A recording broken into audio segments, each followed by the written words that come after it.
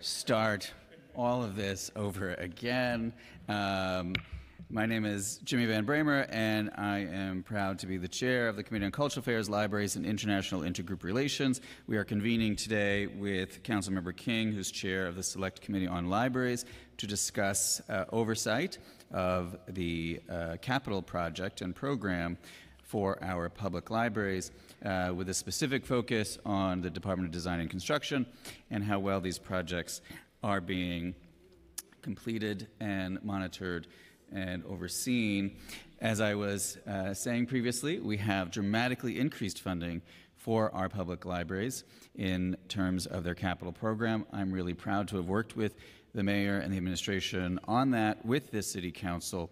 Uh, but with that infusion of hundreds of millions of dollars comes our solemn obligation to make sure that we are spending those dollars appropriately, uh, that there is appropriate uh, oversight, and we have seen uh, too many examples, and obviously the situation in my district uh, at the Hunters Point Library is one such case where uh, I believe we can say that uh, the people of Long Island City and Western Queens have been deprived of having their library open in a timely fashion, uh, but also with delays goes uh, cost overruns and uh, we have to make sure that taxpayer dollars are being spent wisely, uh, that good decisions are being made by the agency, uh, and that those projects are being overseen. And when there are significant problems, that direct and immediate uh, and concrete action is taken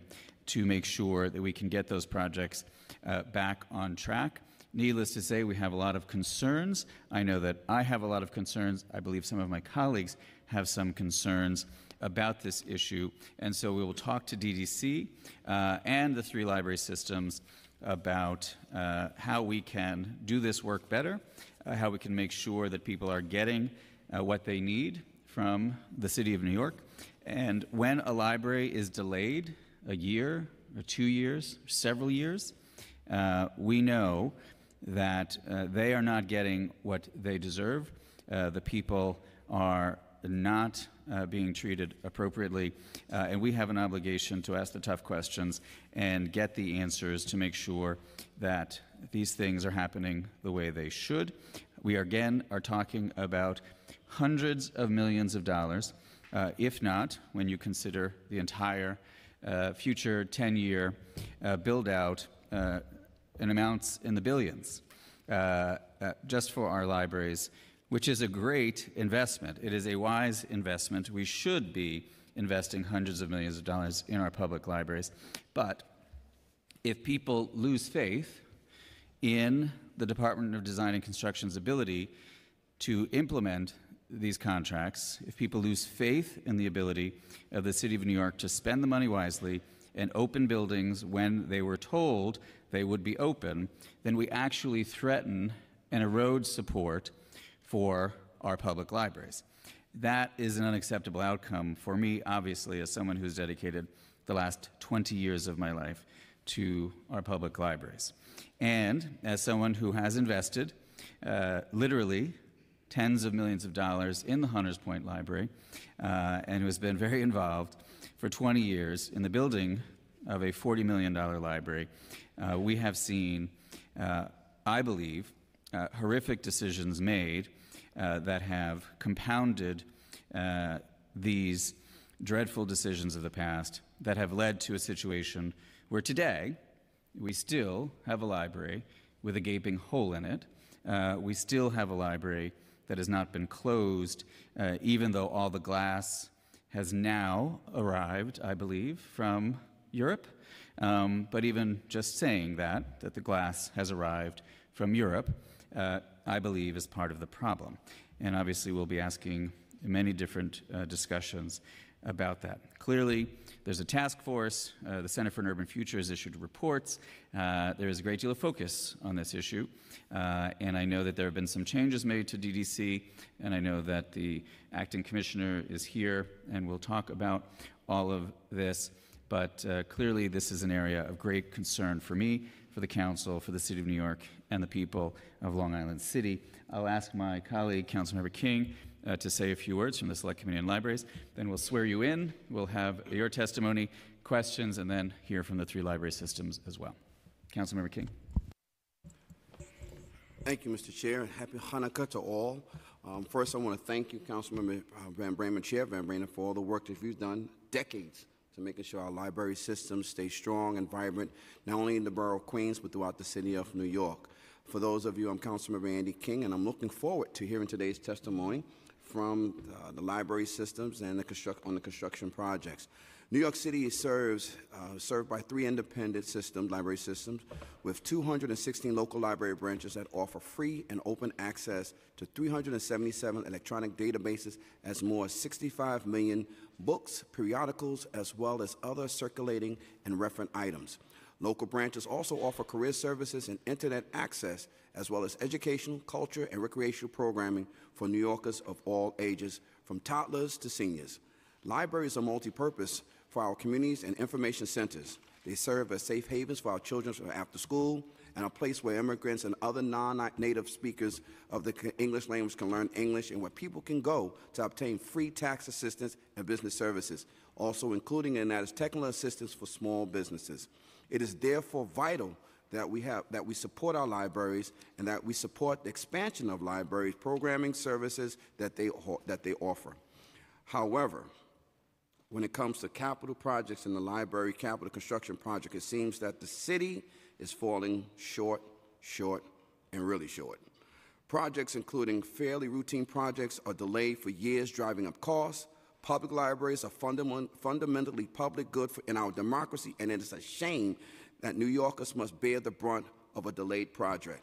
Therefore, I'm looking forward to hearing from the Department of Design and Construction and the city's three library systems on how these projects can be improved so that we may better serve all New Yorkers. Again, I want to thank you, Chair Van Bramer.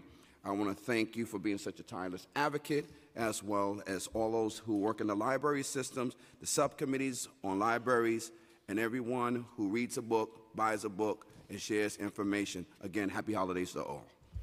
Thank you very much, uh, Chair King. Now we are going to hear uh, from Ana Barrio, Justin Walter, and Thomas Foley. I believe I got the names correct. Uh, we'll swear the three of you in, and then you'll begin your testimony. Will you please raise your right hand? Do you affirm to tell the truth, the whole truth, and nothing but the truth in your testimony before the committee and to respond honestly to council member questions? Thank you. Good afternoon, Chairperson Van Bramer, Library Subcommittee Chair King, and members of the Cultural Affairs and Library Committee. I'm Ana Barrio, Acting Commissioner of the New York City Department of Design and Construction. I'm joined here today, as you mentioned, Chair, uh, to my right, Tom Foley, who's the Deputy Commissioner of Public Buildings for DDC, and to my left is, is Justin Walter, Chief Administrative Officer. Thank you for this opportunity to testify before you today about this important topic. While we value every project at DDC, we understand how important libraries are and the vital services and resources that they provide to the communities. In size, organization, and scope, New York City's three systems are unique among municipal libraries in terms of circulation, research, and collections. Libraries are at the heart of our neighborhoods. Well designed libraries provide welcoming space for all New Yorkers where they can access services and knowledge in all its forms for the 21st century. Libraries today can become catalytic projects, improving community cohesion, helping youth with job and education assistance, and providing a first introduction to books and socialization for our youngest. They are beacons for our neighborhoods and provide safe spaces for all to learn. We at DDC are proud to work side by side with our colleagues at our city's three library systems in designing and constructing these facilities. Over the past six months since I've been acting commissioner, we have collaborated more than ever with the library system and their staff and leadership to enhance these relationships. Around the city, the three library systems are continuing to renovate, expand, and build new branches. Whether it is through directly managing the design and construction or working closely with the library institution through a contracting device often referred to as a pass-through. DDC looks forward to continuing to assist in the growth and improvement of the systems. As the city's primary capital construction delivery agency, the funding for our projects is provided by the 28 city agencies that we collaborate with. DDC is currently managing 905 active projects, 438 projects in public buildings, and 467 in infrastructure, with a value of 12.56 million dollars, billion, sorry, billion dollars. And that is roughly half for public buildings and half for infrastructure. Our work for the three library systems, Queensborough Public Library, New York Public Library, and Brooklyn Public Library, includes 137 active projects valued at approximately $410 million. Libraries account for 15% of all DDC active projects and about 30% of all DDC public buildings work. In the past five years, DDC has completed 114 library projects, 28 for QPL, 59 for NYPL, and 27 for BPL. These recently completed projects include four new branches, Elmhurst and Glen Oaks in Queens, Kensington in Brooklyn, and Mariners Harbor in Staten Island. Just to give you a background of our organization, the DDC Libraries Unit is currently comprised of 49 staff. It is headed by an executive director who reports to an assistant commissioner, and ultimately, assistant commissioner reports to uh, Deputy Commissioner Foley. Each borough unit is led by a director, a deputy director for design, a deputy program director for construction, and various program managers. As you know, the City Council, Finance Committee, this administration, and the Office of Management and Budget, OMB, Cultural Affairs, Parks, and DDC have been discussing capital projects and how to improve the delivery of the projects. During these discussions, it has been impressed upon everyone that construction is indeed unique. Every project is different due to a variety of factors, including the actual scope of work, the location of the project, and the amount of funding available for the capital need of the project. Moreover, there are differences attributable to whether the project is brand-new construction versus a construction project that will renovate or rehabilitate an existing building or space. In general, construction is performed in an uncontrolled environment. We work very closely with each library system to tackle the issues that arise, and our goal is to deliver the best product to our clients on time and on budget. However, common challenges in library and other cultural projects include funding that originates from a variety of sources, the age and maintenance history of the buildings where libraries are located, changes made to the scope of projects after they have begun, market forces driving up bid proce- prices, and performance issues with low bid contractors. DDC must follow New York State General Municipal Law, Section 103, also known as GML 103, which mandates that construction contracts be awarded to the lowest bidder that is responsive to the bid documents and the ability to demonstrate the integrity to receive a public works project.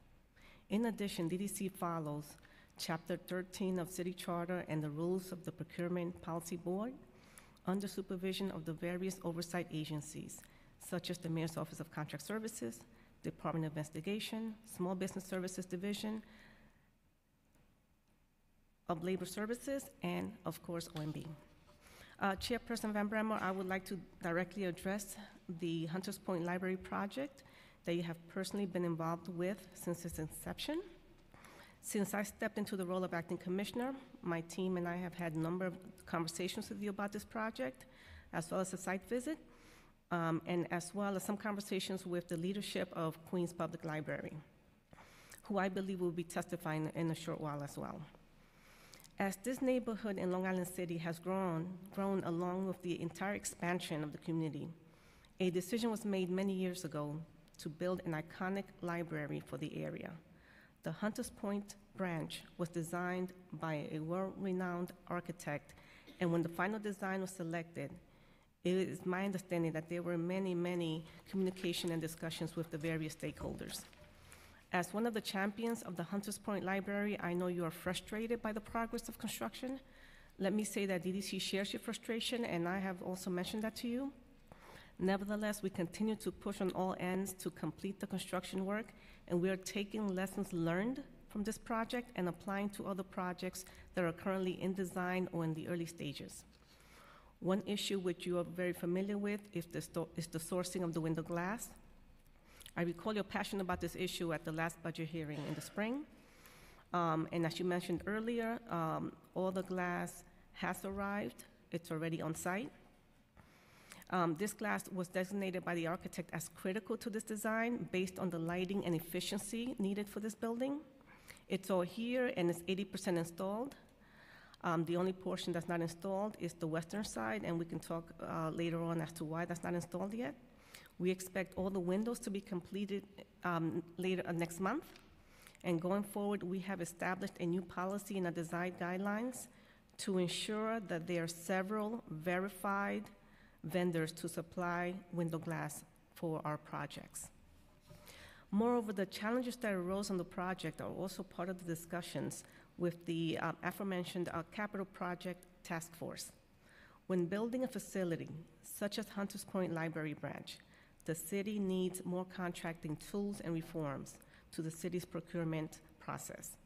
The current limitation of awarding to the lowest bidder is an issue, and this is why this administration has been a great supporter of the design-build legislation at the state level.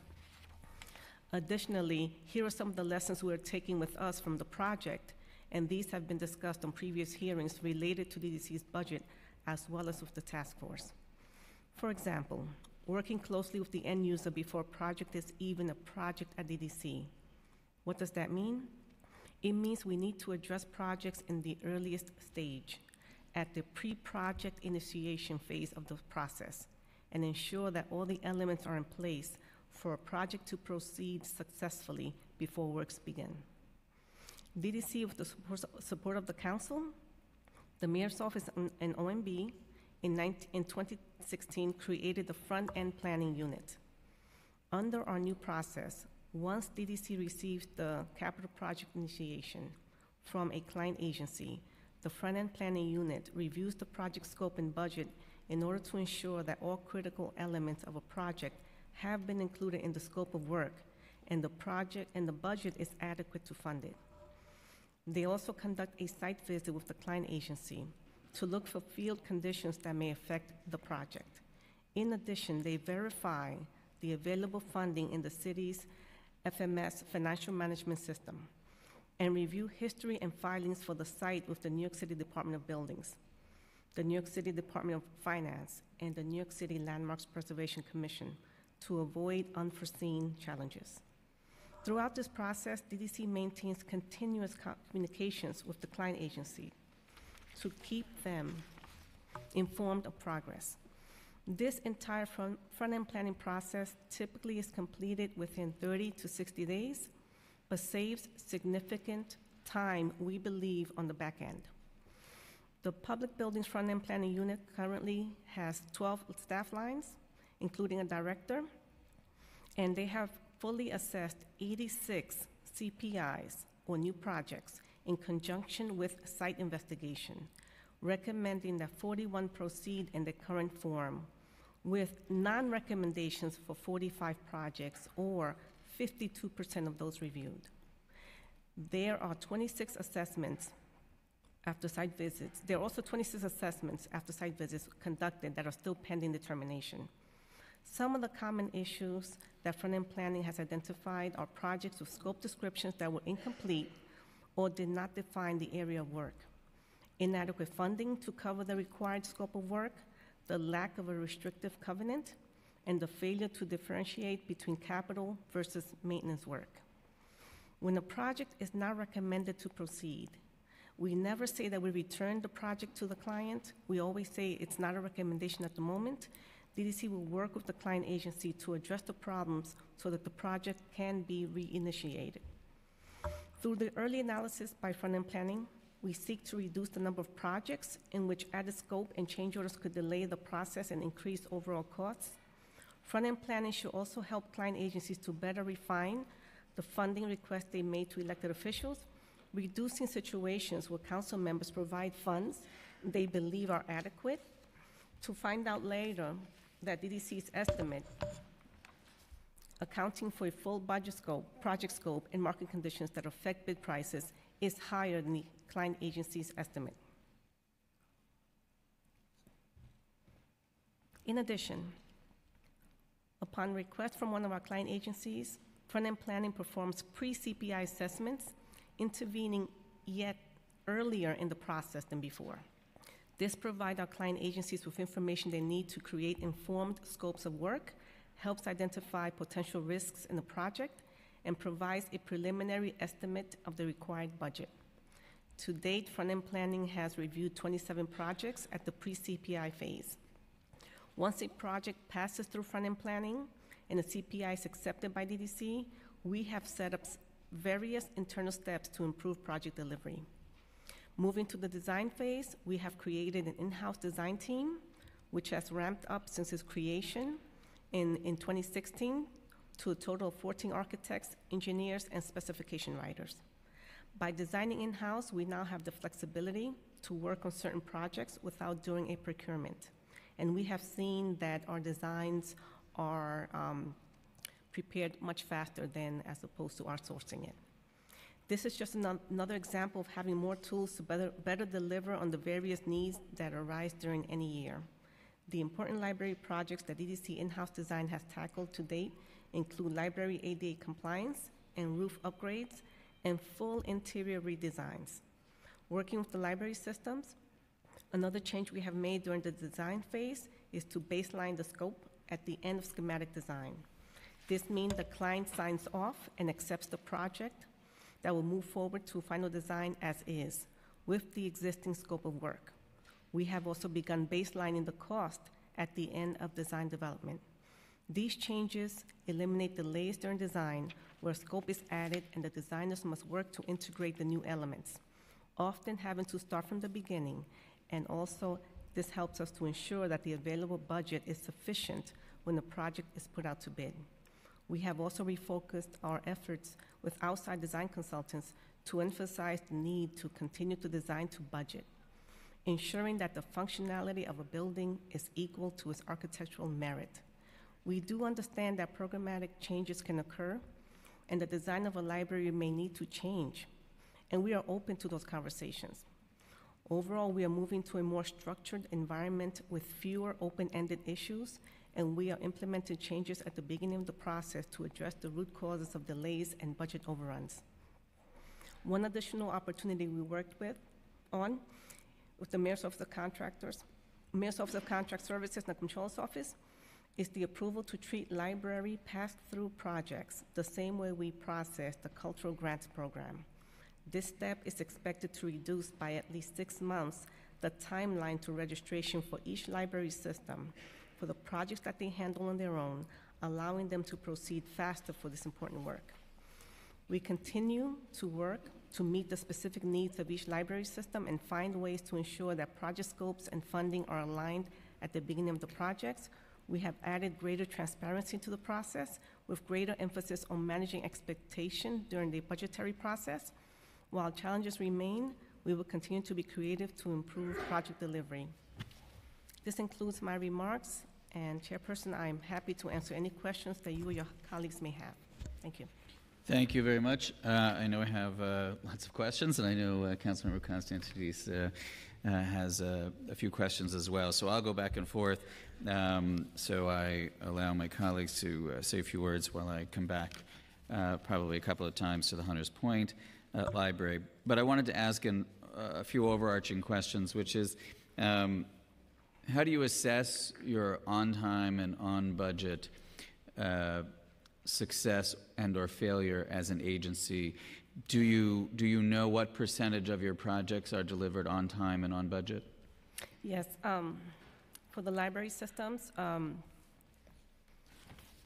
uh, for BPL is sixty-eight percent, uh, NYPL is seventy percent, and for QPL is eighty-one percent.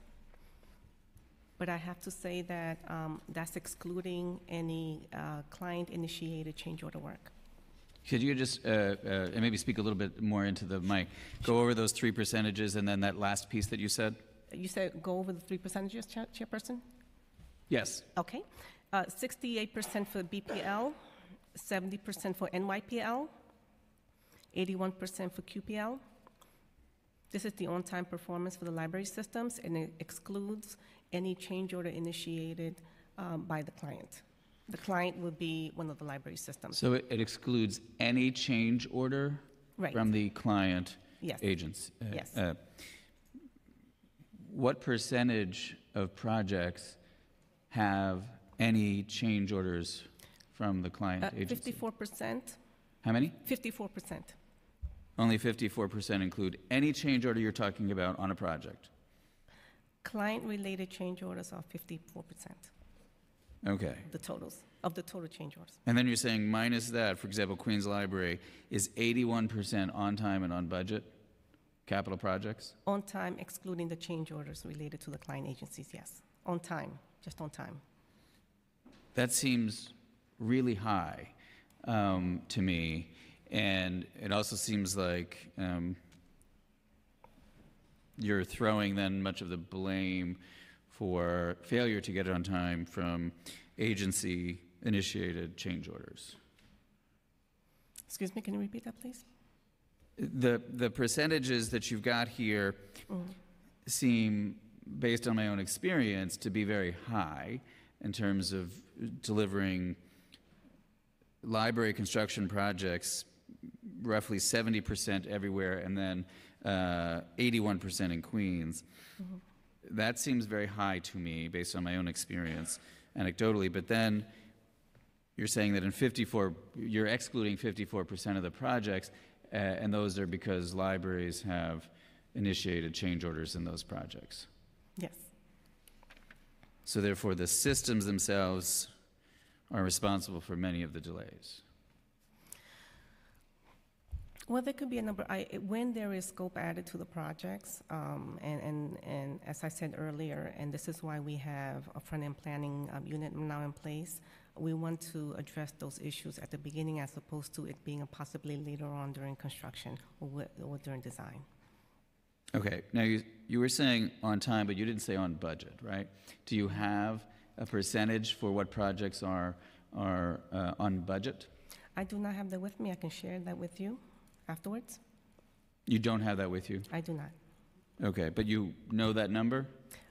I will certainly look into it and share that with you, yes. That would seem like an important number to, to have. Yes. Um, so let me say this. So, in terms of change orders and, and process, because you mentioned this in your testimony, each library system uh, provides an estimate at the beginning of a project or at various points of a project. And, and then there are often change orders in any capital project, I'm guessing, right? Uh, Certainly. both that come from all sides, right? Certainly. In terms of change orders. But in terms of the original estimate, what role does DDC play in making sure that that estimate is accurate? And eh, because it seems to me that, you know, the library systems, and obviously they all have capital uh, divisions and folks who are in charge of capital, but you all are the city agency, you all are, are uh, experts at this. If a library system says, okay, we have a building project, we're going to estimate that at $20 million, but then at the end of the day, it winds up being more because of change orders and other things. But isn't it the obligation of the Department of Design and Construction at the very beginning of the process to make sure that those estimates are valid and accurate? And that's where your level of expertise comes in. That is correct. And do you do that well? That is right now what, exactly what the front-end planning uh, unit is responsible for, um, taking those initial uh, draft CPIs and discussing it with the library systems to see if the budget is aligned to the scope. Right, but it seems to me. It was not done before, Chairperson. It, it was not done before. This is something fairly new that we're taking on over the last, a little over a year ago. So, so you weren't doing that before a year ago, now you're doing that? Yeah, correct. So before a year ago, when a library came to you with a project and an estimate, um, what was your level of involvement in that? Or, you know, were you, did you have any input? Did you weigh in? Did you say, you know what, I think your idea for a 22,000 square foot library is low? Um, and, and then that's at the very beginning, sort of the aspirational phase. Right. But then when there's actually uh, a plan, when there's an architect chosen, and when you actually start to map these things out, it would seem to me like another opportunity for DDC to weigh in and say, this is actually not right. That is correct. So um, previously, uh, the CPI, um, as I said, with the front-end planning unit, uh, what is sent to us is a draft CPI. Pre-front-end planning unit, the CPI was sent to us. Um, We did not have input as to the budget, and the CPI was accepted as is from the client agency. So it seems to me like there has been a lack of oversight, right? There has been a lack of input um, when it comes to these projects um, from your agency. Would you agree with that? Yes, yes, and this is why we have, um, working obviously with the support of the council and support of OMB, we have made these improvements to institute these initiatives and these units to really have a better oversight over the projects. And would you also agree that your agency plays the role of working with the library systems uh, to make sure that they're getting the expertise and the assistance that they need to make these projects happen in a timely and expeditious manner? Yes, And would you agree that the agency has fallen short of that? Uh, before the front-end planning unit was formed, I would say that we could have done better. A lot better.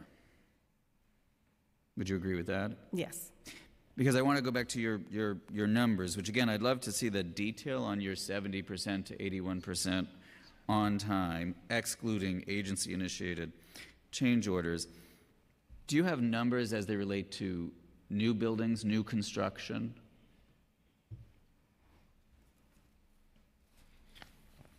yes, um, uh, apologies, uh, Chairperson, you were saying a new number, new construction. Sure. Um, Um, I can tell you that the last three projects that we built, um, you, you, are you asking about the square footage? No, no, no, I'll, I'll repeat. I know you were, you were Yes. talking to your colleague. Uh, So you, you estimated 68 to 81% on-time delivery of capital projects for libraries, excluding agency-initiated change orders. But what about for new construction, new buildings? Uh, We're going to build a new library. Obviously, a lot less common than HVAC systems or windows and doors and other sorts of projects. What is your record of on-time and I, I realize you don't have on-budget numbers here, but what is your record with new construction, new library buildings? Over the last five years, we've built uh, th- three new library branches, um, Elmhurst, uh, Queens, Glen Oaks, and Mariners Harbors in, in Staten Island. Um, I don't have the timeline for those three projects, but I can share that with you certainly. So, uh, um, and I certainly can tell you, uh, those that I know were, were significantly delayed of those, but also with respect to uh, significant expansions, for example, like Kew Gardens Hills, again, a really, really intense and, and awful delay with that project, right? Yes, yes, and we had uh, uh, incredible challenges with the contractor, um, but uh, um, working very closely with uh, Dennis Walcott and his team, um, we decided to proceed and push the contractor to the end. Uh, But yes, there were extreme challenges with the contractor. The So let's talk about uh, contractors a little bit and, and your role in that, because certainly, you know, we're going to talk to the library systems, but, but obviously I have a, of a, of a past life with library systems.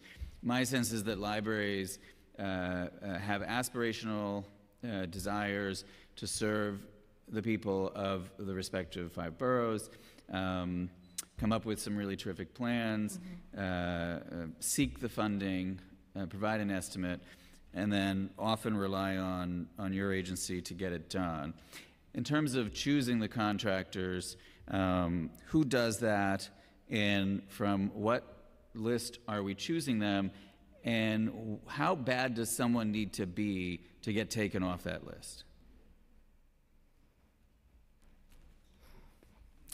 Uh, Chairperson, as I mentioned earlier, um, this is a low bid process, so we're obligated to choose the low bid contractor, and the contractor will go through various reviews, integrity checks, financial checks. Um, In terms of um, removing the contractor from, it is, it's not a list per se. We do have some PQLs, pre-qualified lists, but for most of our library contracts, it's, it's a low bid process. Um, In, in order to remove a con, uh, the contractor can bid on any, on any, on any contract. The- He's not precluded, he or she is not precluded from submitting a bid. But if you have a horrific experience Mhm. with a contractor, uh, do you ever take them off and, and eliminate? We have defaulted contractors in the past, yes. So I know default is a little bit different than banning, right? Uh, because I also know that you're loath sometimes to default a contractor because it essentially stops the work in process and then even in some cases prolongs the delays that you're already experiencing as a result of a horrific contractor. So the default option isn't really a great option and you all don't like to use that option yourselves, right? Uh, and we have lots of experience, right? And I'm being careful not to talk about specific projects, but but we know what we're talking about here, and it happens a lot. Um, so my question is, how do you stop choosing contractors who are going to default or be so problematic that you would put them into default, but then you don't anyway because you really need them to finish the work? And then oftentimes you wind up working with the library system for years with contractors who really should be in default, but you're not going to put them in default. We could issue um, a negative performance evaluation that is entered into the vendor sy- system. And all, any city agency, if they bid on anything, this, this will come up as a negative against their performance. But you don't ban a contractor. Did you ever ban a contractor and say, you know what, that experience uh, at that particular library was so awful, we should never use them again, and no other agency in the city of New York should use them again? Do you do that? We cannot ban them per se, um, Chairperson. What we can do is give them a negative performance evaluation, and in the worst-case scenario, default the contractor. And as you mentioned earlier, in a lot of cases, working closely with the client agency, the library system, um, and, and our team, many, some cases, we make that decision to push the contractor to the end because the default process, as you mentioned, is very long. It's, it's, it's risky, it's risky, and we would like to deliver the project as soon as possible to the library system, but we cannot ban the contractor. Why can't you ban a contractor? There's, there's nothing that provides in the PPB rules to ban the contract, or The best, best that we can do is issue a negative performance evaluation. So we're talking about negative performance. Let's just mm-hmm. say you found out a contractor was corrupt mm-hmm. and was actually stealing money and doing all sorts of horrible things. You, it- you couldn't even That's, say. that, that would reflect on the DOI and, and Vendex checks, so in, in that case, they would be found non-responsible. Right. And, but we- it's- and then in that case, we cannot award that contract. What's that? We, we would not be able to award, we could not award that contract if the contractor is found non-responsible. Right, but what you're by seems to be DOI and Vendex check. saying is that in any future project, that prod, that contractor would still be eligible to apply for that project. If, if the contractor had uh, a, a negative DOI found, uh, finding, no. But there is no binding In terms of negative performance? finding from your agency. So if you also, you're saying that if the DOI had this negative finding, Correct. that they would in fact be prohibited from uh, uh, applying for and uh, future contracts. But if your agency issues a similar, although I understand uh, maybe uh, definitionally different legally, but but a similar negative finding, that your own agency uh, or the city of New York, for that matter, wouldn't ban them from applying for future contracts. It would not be, if there is a non-responsible finding by DOI, um, we would not be able to award the contract. Right, but I'm asking about your agency. So let's just say it's not a case of corruption, it's a case of incompetence. Right. And you find, DDC, that there's a negative finding there, In Right. terms of performance, yes. But you will still then entertain that contractor for future projects. no. We will seek not to use that contractor again. Seek not to use. They can bid, but we will seek not to use the contractor again. So I guess what I'm asking you is do you then, and are you in the process of, have you ever essentially decided that this is someone that we'll never work with again. Yes. Okay? And if in the case of, say, Kew Gardens Hills or Hunters Point, that is something that also could happen. Can you, in the case of, I'm sorry, Chairperson. Kew Gardens Hills or Hunters Point, that could be a potential outcome. Kew Gardens Hills, absolutely. Hunters Point, uh, as you know, is an active construction contract. We will um, certainly do a final performance assessment once the work is completed. I would like to do a final performance assessment right now on that project, um, and it isn't good. And uh, and I realize that it it uh, it isn't just the contractor on this particular case. So before I get to that, um, and again, I'm going to bounce back and forth because obviously I've got a lot of questions on Hunters Point, but I want Councilmember Constantinides uh, uh, to ask his questions, uh, perhaps about another project or projects. Um, but you mentioned the library unit at your agency, 49 staff members. Is that up or down?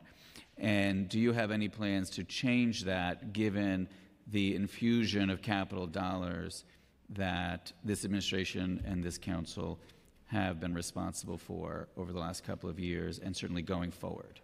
We're looking to uh, backfill some vacancies that we have right now. Um, And right now, we think that um, staffing level is where it should be in, in the libraries unit. We have some vacancies, um, so that number will go up. So you only plan to fill the vacancies, not actually add to the, the head count in the libraries unit? At this point, yes. And you don't think you need additional people in your agency to make sure that the library systems are getting the priority level response that they deserve? That, that is correct, but to a separate unit um, that is not part of the libraries group, um, to the pass-throughs and grants unit, we are adding staff. That's great, but pass-through is something that not everyone utilizes and maybe isn't utilized enough. Some like it, some don't. Are you advocating for the increase in use of pass-through? Do you support increasing the use of pass-through? Because it seems, again, anecdotally, that libraries might be better off in delivering projects that are on time and on budget if they use pass-through.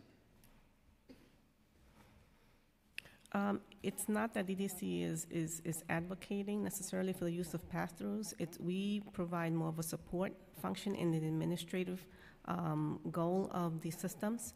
So if they're using either pass-through or grant, DDC will be instrumental in making sure that um, uh, the contracts is processed accordingly and also that the reimbursements are provided to the systems uh, in a timely manner.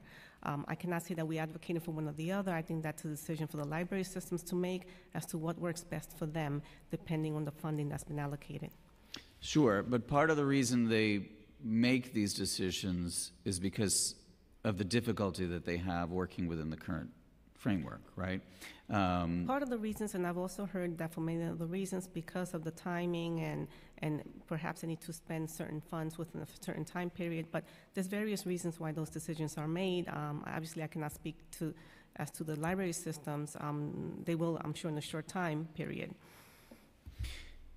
So I'll, I'll ask one last question before I go to my colleagues, and then I'm going to come back, because I obviously do want to drill down a little bit more on Hunter's Point. But you said in your testimony that there have been lessons learned, and you are doing things differently in response to the experience at Hunter's Point. Uh, what lessons are we talking about? What did you do wrong with respect to Hunter's Point? And I don't mean you personally, I mean the agency. Uh, and, and what now are you going to do differently citywide because Hunter's Point went awry so badly? The, uh, we did, in fact, we did learn um, quite a few lessons from Hunters Point. Um, one lesson that we learned and that I really want to talk about is the expectations from the client agencies. When I say client agencies, I mean the library systems. In terms of uh, what the expectations are in terms of a design and designing to budget.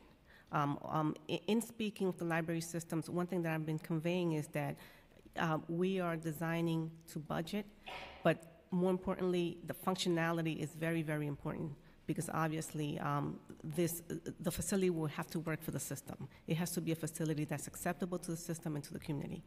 But so with the front-end planning unit, we're going to make sure that the expectations are met as to budgeting. That was not done, obviously, with the Hunters Point Library. And also, the conversations will have to be a collaborative one. It has to be a very distinct conversation with DDC and the library system as to the expectations. What, what, what the library system is, is looking for, what is feasible. Um, for example, we, we will look not to accept any scope additions throughout construction of the project unless it's something that's really needed. And obviously, that's a conversation, a conversation between us and QPL.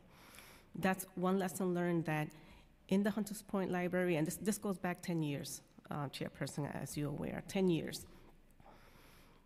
There was no, the, the design, it was more about designing a facility. Um, we don't believe that cost was really the priority. It was more of a design than anything else. We're just making sure that cost and design go hand in hand. That's, that's one thing that we're doing differently.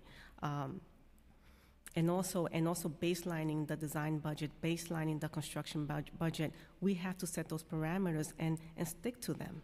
Um, but as I said before, when it comes to adding scope, when it comes to expectations, when it comes to how much control that we give, for example, uh, whether it's the consultant or the contractor making key decisions, some, some decision as, as simple as it may have seemed back then concerning the glass. Right now, we're going to ask that these three sources that they provide are verified, not verified by them. They have to do that, but it has to be, we're going to take the initiative and verify it ourselves. Had we done that, we would have known that it would have, it would have been impossible to source that type of glass here in the U.S. So we're taking those steps to really take uh, a more strong, a- a strong look at our process and a, and a, uh, I guess, a deeper consideration of what can transpire, what can go wrong down the line. So, just because you mentioned it, the glass, the decision to choose that glass manufacturer was made by whom? And and I realize that these some of these decisions were made years ago, but Years ago, yes. but um, at that time, it was either the architect or mm-hmm. the contractor who made the decision, and DDC was not involved in that in a meaningful way. And now you're saying that because of what happened there and because of the fiasco that ensued, that now you've actually changed your policies and we'll be doing it differently? Yes, that is correct. We have changed our design guidelines so that we are very much involved in these types of selections with um, the contract and consultant. And that will be across the board for every project? So you won't necessarily uh, have someone else saying, we need the most special glass in the whole world. And even though Corning Incorporated is one of the largest glass manufacturers in the world and is, you know, a four or five hour ride up uh, Highway 17, that we need somebody in Germany or Spain or, or Russia to make this glass. And now you're saying that if someone comes to you with that kind of a proposal, you will say, hold on, wait a minute, that is not going to work. We need three folks who are qualified to make this glass, and, and we're going to make sure that's the case because what happened at Hunter's Point, you know, we should never be beholden uh, to uh, what happened there. That is correct. And is that a written guideline? Is that a written policy that you've now changed? Yes, written design consultant guidelines. Um, so I, I want to go back to that, especially your designing to budget, because obviously we did not design to budget on Hunter's Point, right? We we had a, an estimate, and then we designed, uh, you know, a, a, you know, a starship essentially, um, and and then found out that that was double the price of what we thought it was. That is correct. And that we have to avoid going forward as well, right? And how are you going to make sure that you're actually designing to budget? And let me just say, I like the design of the Hunters Point Library. Uh, I think it's going to be terrific when it's done, but obviously we cannot design to budget if you are um, setting an estimate and a budget and then envisioning something that is twice the cost and saying we're going forward with that no matter what, um, because then you compound these delays. But you all have a role to play in making sure that things are designed to budget. So how are you going to prevent what happened at Hunters Point and do it differently going forward? Right. And I just want to add, Chairperson, uh, we do have als- right now uh, a chief architect. Um, Chief architect joined uh, DDC about two, less than two years ago, so that's another um, resource that we have available to us, but, um, So just to expand on uh, the commissioner's comments, as far as when, when the architect is completing their design and working with DDC through this process, um, we're also doing our own independent cost analysis for the same and taking into account the constructability, the means and methods that would be required to construct a facility or building similar to Hunters Point Library. So when the engineer's estimate's coming out at 20, 20 million, 21 million, um, and then therefore the, the first round of bids came in at over 33.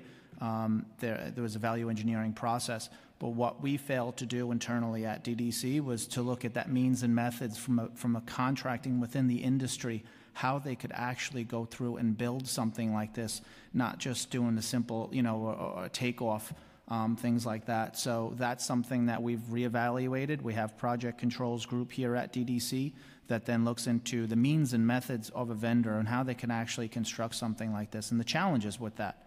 Um, and that's something that, that if we had at the time, I think that would have certainly been able to help with, with our estimate and therefore with the appropriate budget with the architect. So we talked about DDC and contractors. With respect to Hunters Point and other library projects, has anyone ever been demoted or terminated because you believe they failed to do their jobs appropriately with respect to library projects? The, we have a whole new staff at DDC um, that has, there's no one that's been on involved since the original, since the contract had started two and a half years ago, two and a half years ago from a construction standpoint. Um, One of the things that I had pointed out was what the cost estimate, and it was also tied into that was also the, uh, the schedule as well. So when we're coming out and saying we, meaning DDC, and saying this is a $20 million contract, it's going to be complete in two years, um, it's not a $20 million building. It is a 30-plus million dollar building, and it should have been a three-year, and that's where, you know, DDC, my, you know, that's when we would come off with our takeoffs for saying it's a two-year contract. When you're looking at that from a constructability means and method standpoint, the budget and the schedule comes into that as well. So unfortunately, it shouldn't have been a two-year. There were mistakes that were made. Uh, We're verifying, trying to come up with why that happened. Um, But it's not just a logistic graph of looking down and saying, okay, 20 million, this is, oh, two years, or, you know, whatever that is. Um, That really, the time has to be taken in because this is, obviously, this is expectations, both from the council and from the community, as far as how long we're going to be out there in construction. Um, And unfortunately, this should not have been a two-year contract. Chairperson, I just we just want to add to what Tom Foley just mentioned. Yes, there have been um, terminations and demotions, but this was uh, in the, in the libraries unit, but this is prior to uh, Hunters Point team. Hmm. So have we taken actions in the past? Yes, we have. Okay, I'll come back to that. Councilmember King.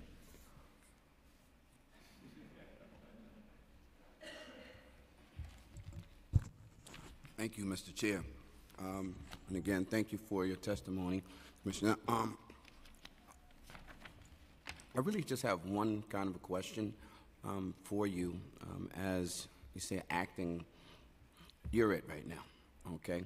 And congratulations on being here. So um, having that it on your back, now you have the responsibility of figuring out what was wrong yesterday and what you got to do today to make tomorrow better. Absolutely. So I want to know from you, come in because we've here, not just with library projects, but throughout any other projects that, how this agency has had challenges on delivering on timeframes. So what would you say is maybe your top three challenges since you've come in um, and making sure that your agency is operating effectively? Um, and what have you done to correct them then I'll go from there. Thank you for that question. Okay, so um, a great challenge that I have seen um, at DDC is, I will have to say, with uh, schedule and project controls. Because obviously, we would like to deliver these projects as quickly as possible to the communities and obviously to the elected officials. Um, Under schedules and project controls, um, we have instituted um, more transparency within the agency, more transparency wi- with also the library systems, as well as um, setting very clear expectations from each team member. We have instituted um, ver- um, various discussions every week. We meet and discuss key meet, uh, key projects. We have also instituted on the IT side um, um, a a benchmark tr- project tracking system that's now in place.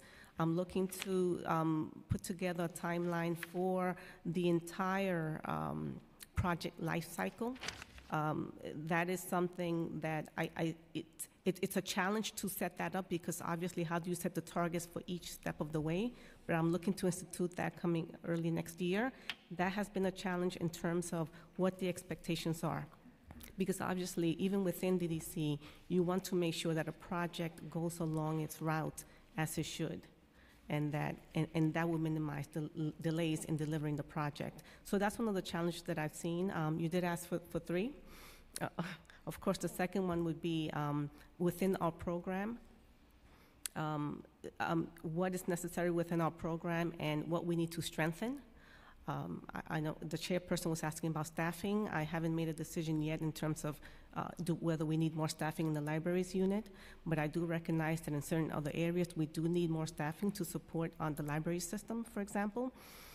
Um, in managing their grants and pass-through um, programs, there, um, we can strengthen the staff. I, I, we do need more staffing in, in other areas, and OMB has given us more staffing for the front-end planning group as well as in-house design. So when it comes to those, those two challenges, it's, it's project controls, project management, schedule management. Um, Certainly within staffing, there's quite a bit of work to do in terms of aligning the staff where they should be. Um, uh, Those are the greatest challenges that I see right now, um, that I'm, I'm working towards. And, and, and hopefully within the next six months, I will see more of those results come through. But definitely internally tracking the projects and really assessing what needs to be done at a certain point. Um, that is, I have to say that is key, and that is something that we've instituted from day one. And, and, and what I've also instituted from day one is, is project delivery is, is key. Design is important, yes, but project delivery is key. We need to build these projects faster, and I think, I think we're getting there, but we do need a bit of more work to do. Okay, so that leads me to ask you, the solutions that you've come up with, how effective have they been? And from hearing you, I heard you say six months. Is that your timeline to make sure these changes are in place? Or is there a timeline to make sure that what you're implementing has an effective date, um, that you can clear up you know, all your backlog and all the issues that you have with building, not just libraries, but some of the other construction that goes on in the city of New York? I mean, it'll be difficult to see, uh, let's say, for example, um, the results of front-end planning over, let's say, six months or so. Um, um, front-end planning or in-house design per se, but we have seen um, right now, it's very preliminary, it's very early on in the process, but our in-house design team, we have seen that they can design much faster per se than, than, than having a consultant on board. I would say that so far, the numbers that we have seen, as I said, very preliminary, it seems that a third of the time that a consultant would design certain projects of the same magnitude, let's say two to three million dollar project, we're able to design those in a third of the time. But it's not enough of a sample, I feel, just yet, to make that final decision as to, um, is this really um, going to be the standard for our in-house design for certain projects? I do need that time to assess down the line exactly how many projects we have designed, how quickly, and the types of projects, and then make a conclusion to that as to where, whether I need more staffing or whether I need to realign the staffing. So six months, I, I- would need six more months just to see where we're at, and then reassess and move forward. Okay. um, Another question I have is that, is there anything that we and the council can do Or is there anything that you can do as the commissioner um, to eliminate some of the the bureaucracy that happens within and do it. I heard him talk, I heard this uh, chair talking about being able to just technically just fire somebody who's just been messing it up as opposed to just put the letter in their jacket and sending it to another agency and say, you guys handle it. What can you guys come up with in your layout and your plan or your charter or your operation codes to say, we're not going to tolerate this anymore just so we can expedite projects? Because what we don't want to see happen, which we hear in a lot of hearings, things get pushed to the next agency, to that agency to deal with. And we're saying to you as a commissioner, how do you create a system within your system that says, if I'm going to stand before, sit before the council and have to answer questions, then I got to have the power to make real decisions. And if I got to say no to something or, or eliminate something, you should have the power to do that. So how do we help with that process, or do you have something, or are you willing and capable to do so? Well, so far, the council has helped DDC in, in supporting um, the funding for front-end planning and in-house design. And, and the council right now and the task force is working with us and OMB to look at, as, as you said, the bureaucracy and, and the process and what can be improved. So in that respect, uh, fr- from our perspective, I think the council has helped us and is helping us. In terms of uh, internally within the agency, um, I agree with you. Um, I would have to see I don't believe in, uh, I believe in moving forward, and if changes have to be made within DDC, I will certainly take that on, but I will also need to make the right changes and have the tools where, where I can make those assessments. And as I, I mentioned earlier, tracking the projects, understanding exactly where the issues are occurring. These tools that right now, these program management tools that we're working on will give us that access to then make those decisions as to what changes we should make. As, as New York City has pretty much one of the largest library systems on the planet, um, have you ever spoken to any other city who has a very large system of what works for them um, in order to delivering projects, basically, especially when it comes to building in our, our library systems? What, what are good practices that might work? I have not yet, but I certainly will. I have been talking to the industry at length about many um, issues concerning project delivery, um, but I certainly will um, reach out. Okay. Well, uh, I'm gonna, I'm gonna wrap up and Um, just say. And just one more thing, how you can help us, design build. I, I know you support design build. Um, I- We need as many tools as possible so that we make sure we have um, the, the best contractors, the best consultants. um, Any support you can give us on design build will be great. Okay. Well, thank you for your answers, and thank you all for testimony, testifying today. And, Mr. Chair, thank you so much, and again, happy Hanukkah to all. Thank you. Um, So what, what kind of priority is given to library projects? Obviously, you have an enormous portfolio. Library capital projects are a relatively small portion of your overall program. For public buildings, it's thirty percent, so. What's that? Thirty percent for public buildings. It's not, um, overall, it's fifteen percent of the agency, thirty percent for public buildings, Right. But in your agency, libraries are about 15%. fifteen percent. Right.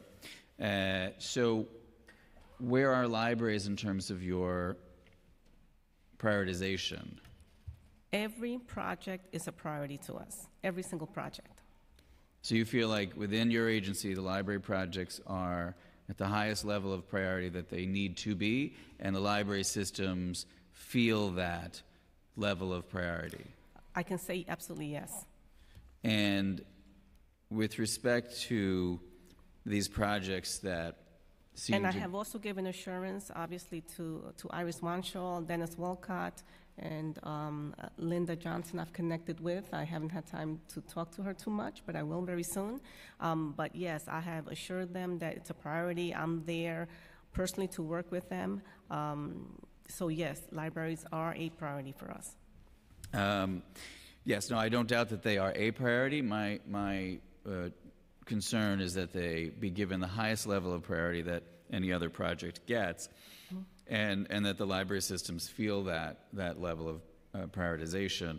And with respect to the projects that seem to go on forever, uh, and there are too many of those, and the libraries, uh, and obviously we'll be talking to them, feeling that the agency, your agency, has the dexterity to be able to respond to things that are horribly wrong and correct them in a timely fashion. A, do you believe that you have that? And do you believe that others think that you have that?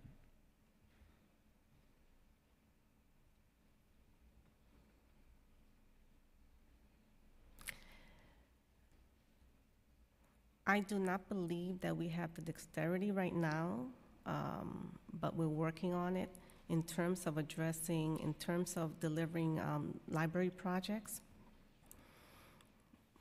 When there are scope additions, for example, when projects are not funded adequately, um, we did not have that dexterity before, but I think that right now, with the tools that we have in place, we hope to be- be in a better position to manage those expectations.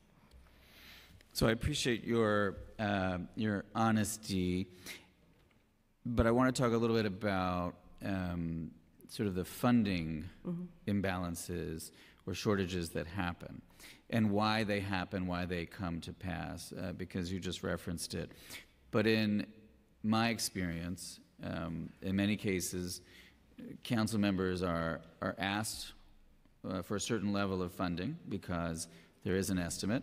Um, we believe that we are appropriately funding the project, only to be told that we are not. Um, That's correct? is your agency going to change the way it does business with respect to that? Because in some ways, it's inaccurate to call it a funding shortage when, when the elected officials believe actually that they've correct. met the funding expectation, not even once, but several times, only to have the goalpost pushed back even further. That is correct, Chair- Chairperson, and this is why at the pre-CPI, even before we receive a draft CPI, we are open to us working with the library system in order to assess the scope to- and the budget. Like that, your expectations will, will be managed in terms of what's, what can be delivered. And I realize that some of this uh, pre predates your uh, current uh, uh, position, but uh, for example, I have been told at very high levels by your agency about a projected completion date of a library, only to have that then revised, uh, not by months, but by years. How is it that the Department of Design and Construction could tell me that you, you expect uh, completion of a project or substantial completion of a project, and then have that be off by years? Uh, Respectfully, uh, Chairperson, I would not say we're off by years. Um, When uh, you and I visited the site over the summer, um, I mentioned to you that the project will be substantially completed late summer of 2019, 2018, I'm sorry. Um, The original completion date of this project was earlier this year, 2017, and the project will be completed um, mid- uh, late summer of 2018. So uh, let me just I'm be- not, I don't, I don't, I- don't know, you know, I- can only go by what I have informed you. Where you were- informed previously, I cannot speak to that, but I can tell you that at our site visit, I specifically um, mentioned to you that the project will be completed late summer of next year, and we are trying our best to stay with that date. Right. So uh, to be clear, I'm not referring to something you said to me. Uh, it was uh, uh, someone else uh, at your agency, and that was in fact off um, by years. Okay. Particularly if your time frame, which now you did share with me, Mhm, Yes. is also delayed for any purpose or reason. Uh, So do you now, at this hearing, believe that this library will open in calendar 2018? Is that your belief? I can say that DDC will substantially complete our portion of the work by August 2018 and turn it over to QPL, for QPL to do their fit-out. So. I it- cannot speak to when the library will open. I think that, that's a question more for Dennis Walcott and his team. But I can say that we will complete our portion of the work by August of 2018. Right, so depending on how long the, the library needs to uh, be in the building before it is open, and that is assuming that there are no changes whatsoever uh, from here until then. Correct. Uh, We are probably looking at a 2019 um, uh, opening of the library. Um, Obviously, we'll talk to the library uh, shortly about that, but uh, that is a, a very substantial delay, off of a very substantial delay on top of, uh, uh, on top of a, a delay.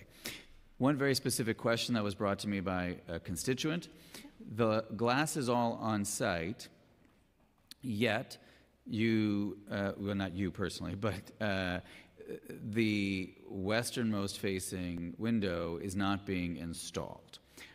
Why are you leaving that gaping hole in the building when it is cold and wet and raining and snowing and people are desperate for you to close up that building? And I would imagine there's a lot of work that you can't do as long as it's still snowing into a library.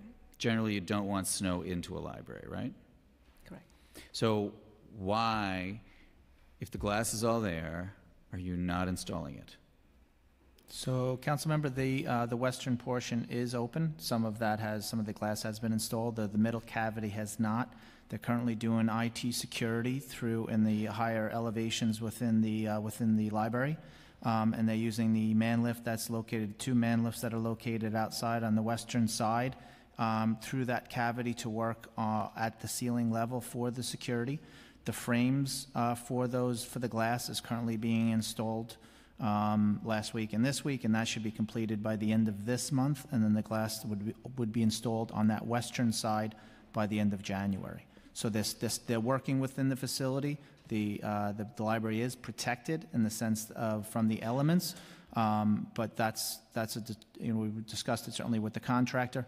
Once that IT, once that work is done at the higher elevation, then they will be closing that up on the glass on that western portion, and then starting the mill work inside. So is the building opening being further delayed because you aren't able to close the building at this point? No.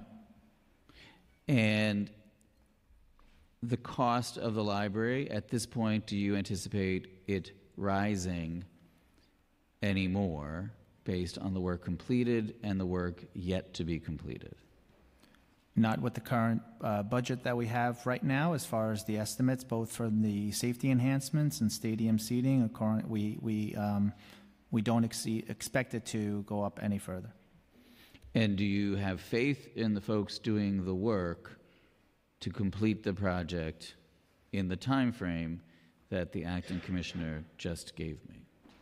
We do, um, and we continue to have the conversation not only with the contractor and the subcontractors, but also the bonding company that is obviously fully uh, engaged on site. And um, we continue to pay the bonding company directly, and, um, and they are then dispersing the checks internally to the various subs and the uh, GC. So I get updates from the department on the progress of this work. And I'm wondering if you are open to and willing to make updates available to the public, uh, maybe not as specific and detailed as the reports that I get on a weekly basis on the Hunters Point Library, but you talk about transparency. There's obviously a great deal of frustration in my community, but other communities as well. Why not make that uh, something that you do for the community and, and release those reports? Be more than happy to do any outreach that's required um, or suggested. And as we had talked during the walkthrough, I will, I, I am responsible for the work at the site. I am more than happy at any public meeting to be present and to go over um, the challenges that we faced um, and along with the expectations from a, schedule completion date. So I, I look, I, I would uh, welcome a town hall style meeting on this project, but I think even before that, because a lot of people can't make town hall meetings, and quite frankly, I don't want to have a town hall meeting on Hunters Point until that building is closed and we can actually feel very confident in telling people in the community when they might anticipate their library, because as you know, uh, they have been told so many dates, and none of them have proven to be true. And so I don't feel comfortable going to the community with a date until I see much more progress.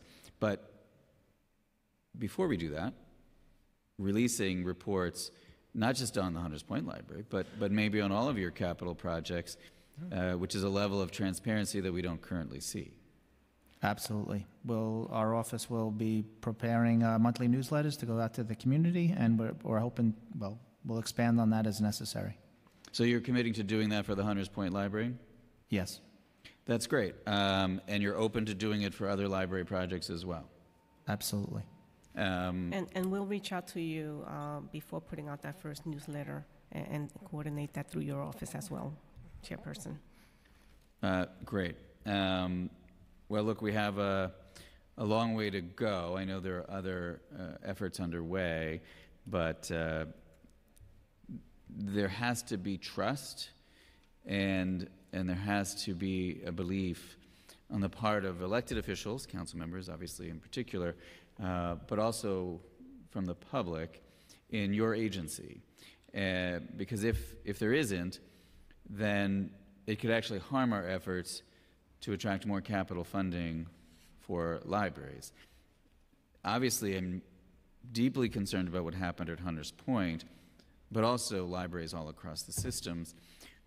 But, but even more so, this inability of this agency to do library projects in the way that they should threatens overall support for library capital funding because we don't want anyone to say, why would I provide funding when we don't actually believe that DDC is going to be able to do the right thing with our money and we're not going to see the project. We're not going to see it for years. We're not going to see it while we're still in office. We're not going to see it uh, when we promised our constituents they would see it.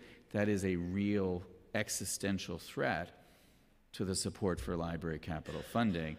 And we have done so much over the last four years uh, to really build up that uh, well of support. And, and now it's incumbent upon the agency recognizing that it failed too often uh, to implement the changes necessary to make sure that we're not having Hunters Point Library like delays and issues going forward. So, with that, I want to thank uh, uh, you all for being here, and uh, we'll hear from the library systems now. But thank you for your um, testimony and, in some cases, your brutal honesty, uh, Acting Commissioner.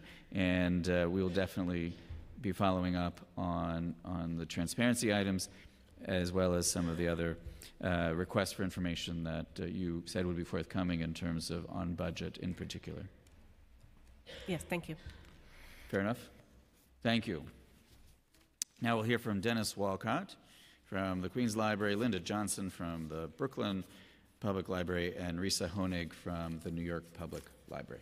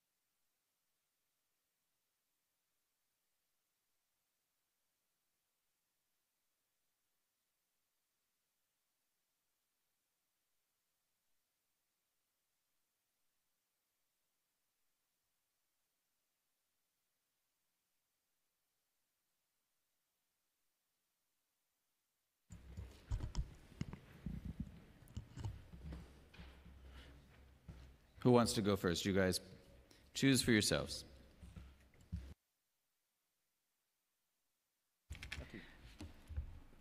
Good afternoon, Councilman. I'm happy to start.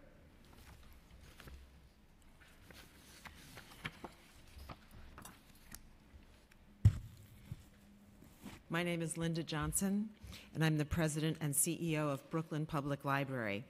Thank you, Chairs Van Bramer and King, and the entire council for your commitment to our city's public libraries. I am here today to testify about library construction projects, the progress we have made with our capital program, and the considerable infrastructure challenges the library continues to face. Libraries are an essential public resource. More patrons than ever are walking through our doors, and we are striving to meet their growing needs. We are indebted to you, the Speaker, and the Mayor for, for your outstanding work to help us meet these challenges. In addition to allowing us to achieve universal six day service, the city has made significant investments in library infrastructure. Our inclusion in the 10 year plan three years ago was extremely encouraging. Brooklyn Public Library received $100 million in funding over 10 years to overhaul five libraries Eastern Parkway, New Lots, Canarsie, Brownsville, and New Utrecht. Additionally, with your help, the fiscal year 2018 budget included an extraordinary boost $30 million to help the library address system wide critical maintenance, 10 million for our central library renovation, and funding from individual members. You and your colleagues have heard us speak many times about the specific infrastructure hurdles we face in branches, in our branches. You have seen these challenges yourselves, and you have used your discretionary funds to help us fix them, and we are grateful, and it is making a difference. Just a few years ago, Brooklyn Public Library carried $300 million in unfunded capital needs for the 59 libraries in our system. With the help of the city, Albany, and private philanthropy, as well as creative library projects, we have reduced the need to $240 million. You have helped BB BPL enter its most significant era of rebuilding in recent memory. Over the next 10 years, one third of our system will have been rebuilt or renovated. Innovative library projects in Brooklyn Heights, Sunset Park, Greenpoint, and Brower Park will add new state of the art libraries to our footprint and reduce unfunded capital needs by tens of millions of dollars. As we have discussed numerous times, revenue from the sale of Brooklyn Heights Library will allow us to improve several branches that are badly in need of repair and to replace and expand our Sunset Park Library. Our collaboration with the Fifth Avenue Committee and extensive community input will result in a new 21,000 square foot library topped with 40 units of permanently affordable housing. An interim location is set to open by the end of March, and we look forward to beginning construction soon thereafter. At the end of October, we broke ground for the new Greenpoint Library, a model of sustainable development that will provide significantly more space, indoor and out, for expanded programs and activities, and a special collection that will increase awareness and stewardship of the local environment.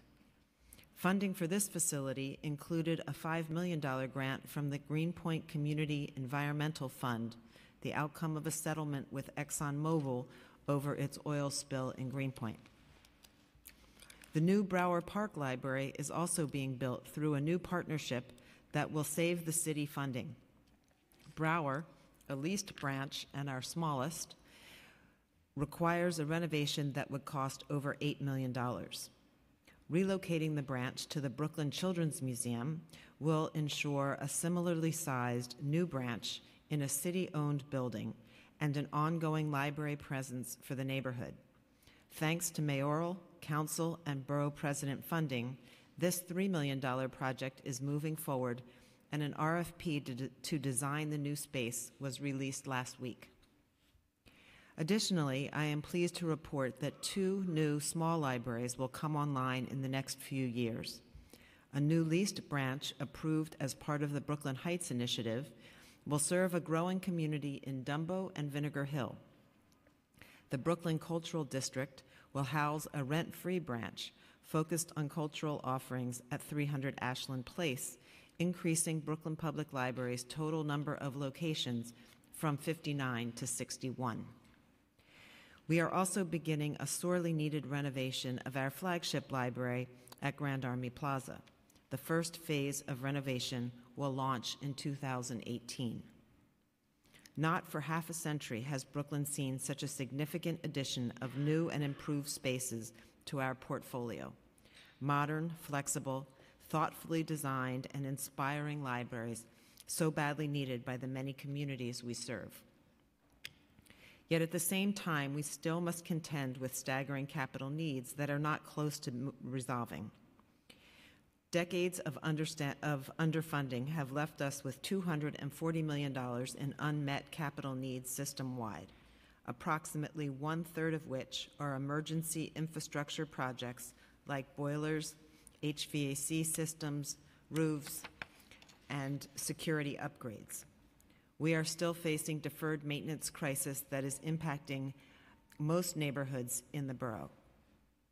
With a physical plant of more than 1.1 million square feet, we are constantly working to maintain state of good repair. Our average branch is 68 years old, with at least $1 million in needed upgrades, and one quarter of them require more than $5 million. 18 of our branches are beautiful Carnegie libraries that are over 100 years old and therefore even more costly to preserve. Every year, our building ex- ex- every year our building experience un- our buildings experience unplanned closures, and we lost hundreds of hours that should have been open to the community. Many of our major systems are not functioning at all. We have branches that are operating with temporary chillers in the summer and heaters in the winter that are well beyond their useful life. While we have begun to make progress, our overall funding level continually forces us to triage only the most serious projects and leave the countless critical infrastructure needs and preventative work unaddressed. We spend much of our time and resources responding to emergencies. The lack of a reliable source of recurring funding also makes it impossible for us to manage capital projects efficiently. Urgently needed improvements are often delayed over the slightest change in scope because we are not able to address routine adjustments and overruns with dollars budgeted for the coming year. We simply do not have the flexibility other agencies have. In total, we face shortfalls of more than $18 million throughout the borough. The bulk of this of the funding we received last year was spent keeping the design efforts moving forward on projects that were initiate, initiated years ago. We have projects planned for nearly half of our libraries that are on, on hold or delayed. While there is no single and easy solution to address the capital predicament we face, there are a few steps I believe we must take. First and foremost, a large recurring budget allocation for libraries must be placed in the 10-year plan, capital plan. We not only need an adequate level of funding, we need to be able to accurately plan our program. Most city agencies have funding in every year of the 10-year plan. So when a project inevitably runs into a shortfall in the design process, they have money to cover it and complete the design phase, ultimately reaching construction. Libraries, on the other hand, must wait until the end of each year and divert our one-time allocations to plug holes, constantly topping off the project budget to allow design to continue to move forward. In some cases, we do not have enough to reach construction. This process is inefficient and ultimately more costly. Operating under this structure forces us to maintain our physical plant piecemeal focusing on individual systems rather than, rather than on a building as a whole. Recurring allocations every year would not only ensure that we fully fund our projects, but would enable us to deal with our buildings holistically rather than applying emergency uh, fixes. This was the intention behind the five $20 million branch overhauls that were funded in, the fisc- in fiscal 2016's 10 year capital plan. Approaching our building upgrades comprehensively is the most efficient and prudent way to maintain our physical plant. In addition, if we had the flexibility to separate design and construction budgets, we would prevent delays in our projects. We could make progress on many more projects if we were given the latitude to fully fund design and move forward with the understanding that the construction budget will be shored up separately. In addition, given the growth in our capital effort, it is imperative we have the flexibility to pursue new approaches, from embracing additional public-private partnerships and collaborations to taking on more pass-through projects ourselves. We are committed to doing our part to meet capital challenges through innovative projects and our continual search for new sources of funding. Coupled with a long-term and sustained investment by the City of New York, as well as process improvements and flexibility, I am confident we can build upon the progress that we have made. I am heartened by the Council's focus on the library capital projects and your recognition that we must collectively rise to this challenge. Thank you for the opportunity to testify today, and of course, I'd be happy to answer any questions. Good afternoon. My name is Risa Hone. Is your mic on? Sorry, it's my first time. Good afternoon. My name is Risa Honig, and I am Vice President for Capital Planning and Construction of the New York Public Library. I would like to thank Speaker Melissa Mark Viverito, Majority Leader Jimmy Van Bramer, Subcommittee Chair Andy King, and the entire City Council for holding this hearing. I appreciate the opportunity to testify and would like to thank the Council for your steadfast support of libraries. We are here today to discuss library construction projects, our successes, and the challenges of the city process. As you well know, the New York Public Library system is massive and requires significant ongoing improvements to ensure that libraries are functional, safe spaces for our patrons. Our physical infrastructure is significant with 93 buildings and 71 current capital projects underway, including 29 in the Bronx, 35 in Manhattan, and 7 on Staten Island. These current projects represent 565 million in total cost. We are excited to provide an overview of our capital program, tell you more about our few major projects, and share some of the innovative ways we're working with the city to improve the capital process. Over the past few years, with actions by the city, we've been able to advance our capital program.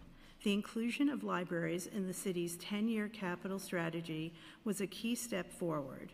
We are grateful to the mayor and the city council for working together to see that the city's three library systems are included in the city capital planning conversation.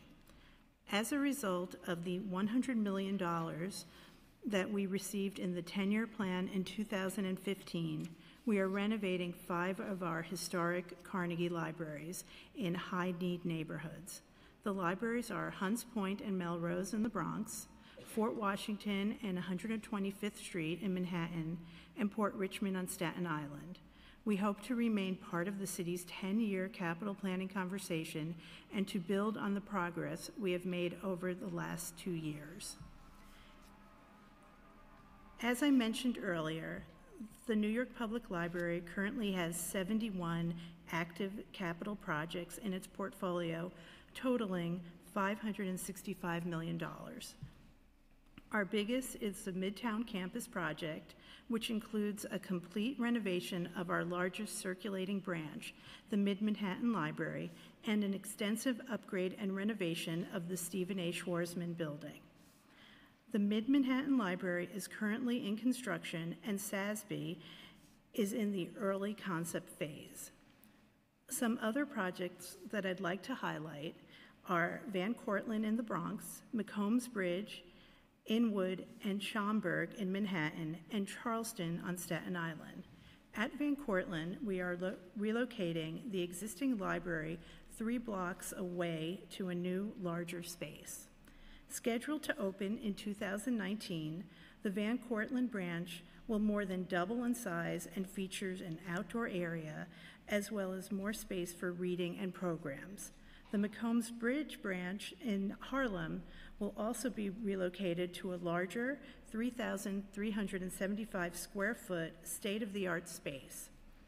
At nearly five times the size of the current 685 square foot branch, it will have more than double the number of computers and a dedicated space for children and teens. We are currently in the design phase of that project.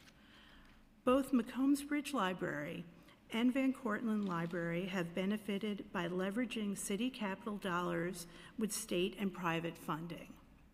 The Inwood Branch redevelopment project in Upper Manhattan features a mixed-use development that will house a brand-new library, 100% affordable housing, and a universal pre-K site.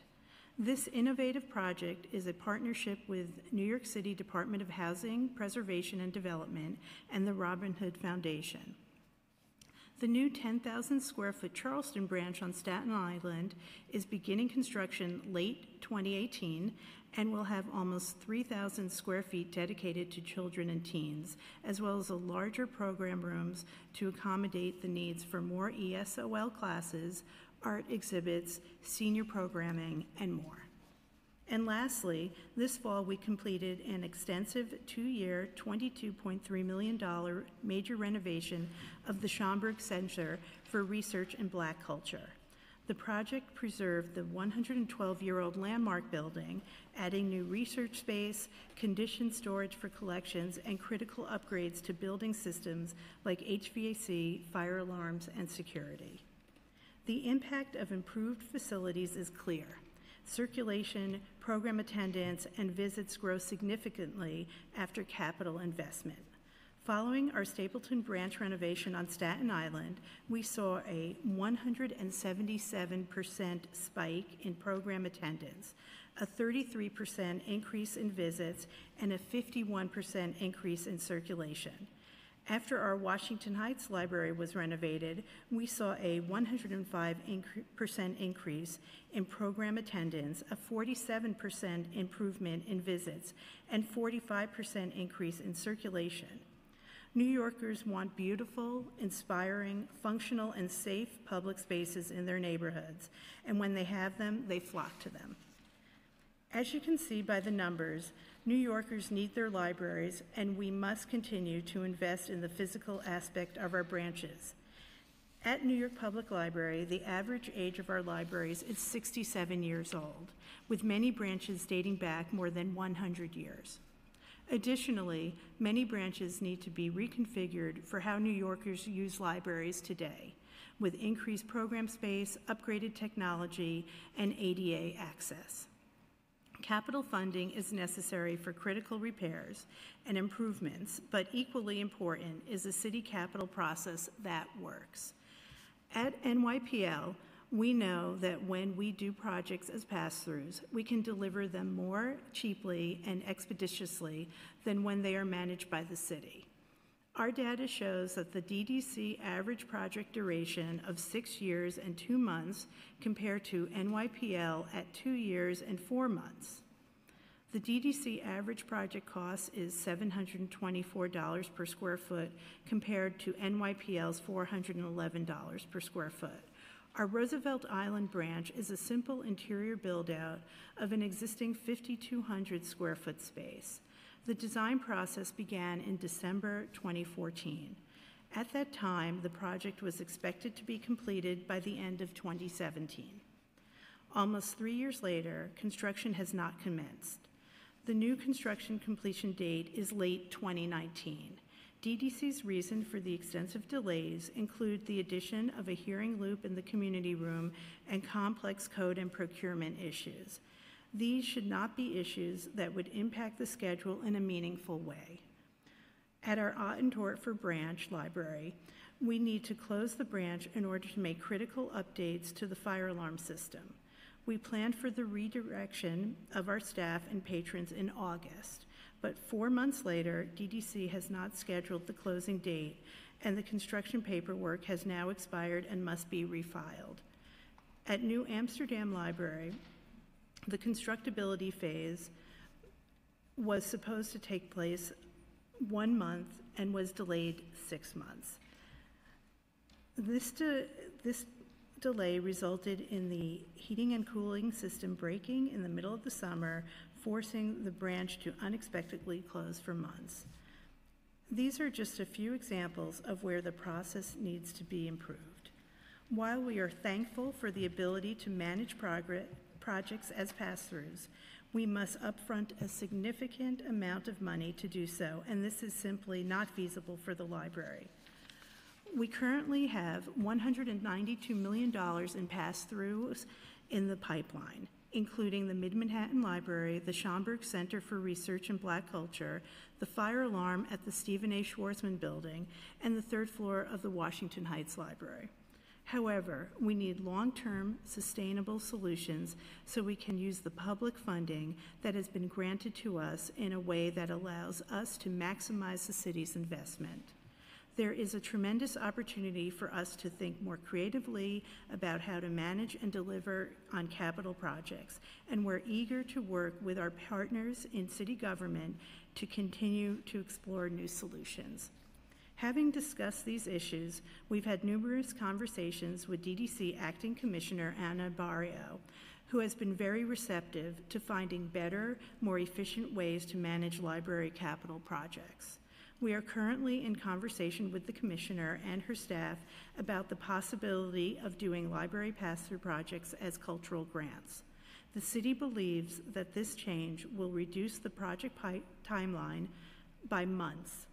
While this change is a significant improvement, it only applies to a small number of projects in our capital portfolio and doesn't remedy the issue. For more than a century, NYPL's network of libraries across the Bronx, Manhattan, and Staten Island have served as powerful engines of individual and community empowerment and development. But they require capital investment and a city capital process to ensure they can continue to provide all New Yorkers with the tools and the essential public spaces they need and deserve. We are grateful for the Council's longtime support of libraries and look forward to working with you and our other partners in government to increase our ability to provide world-class library service to New Yorkers in well-maintained, safe, and accessible spaces.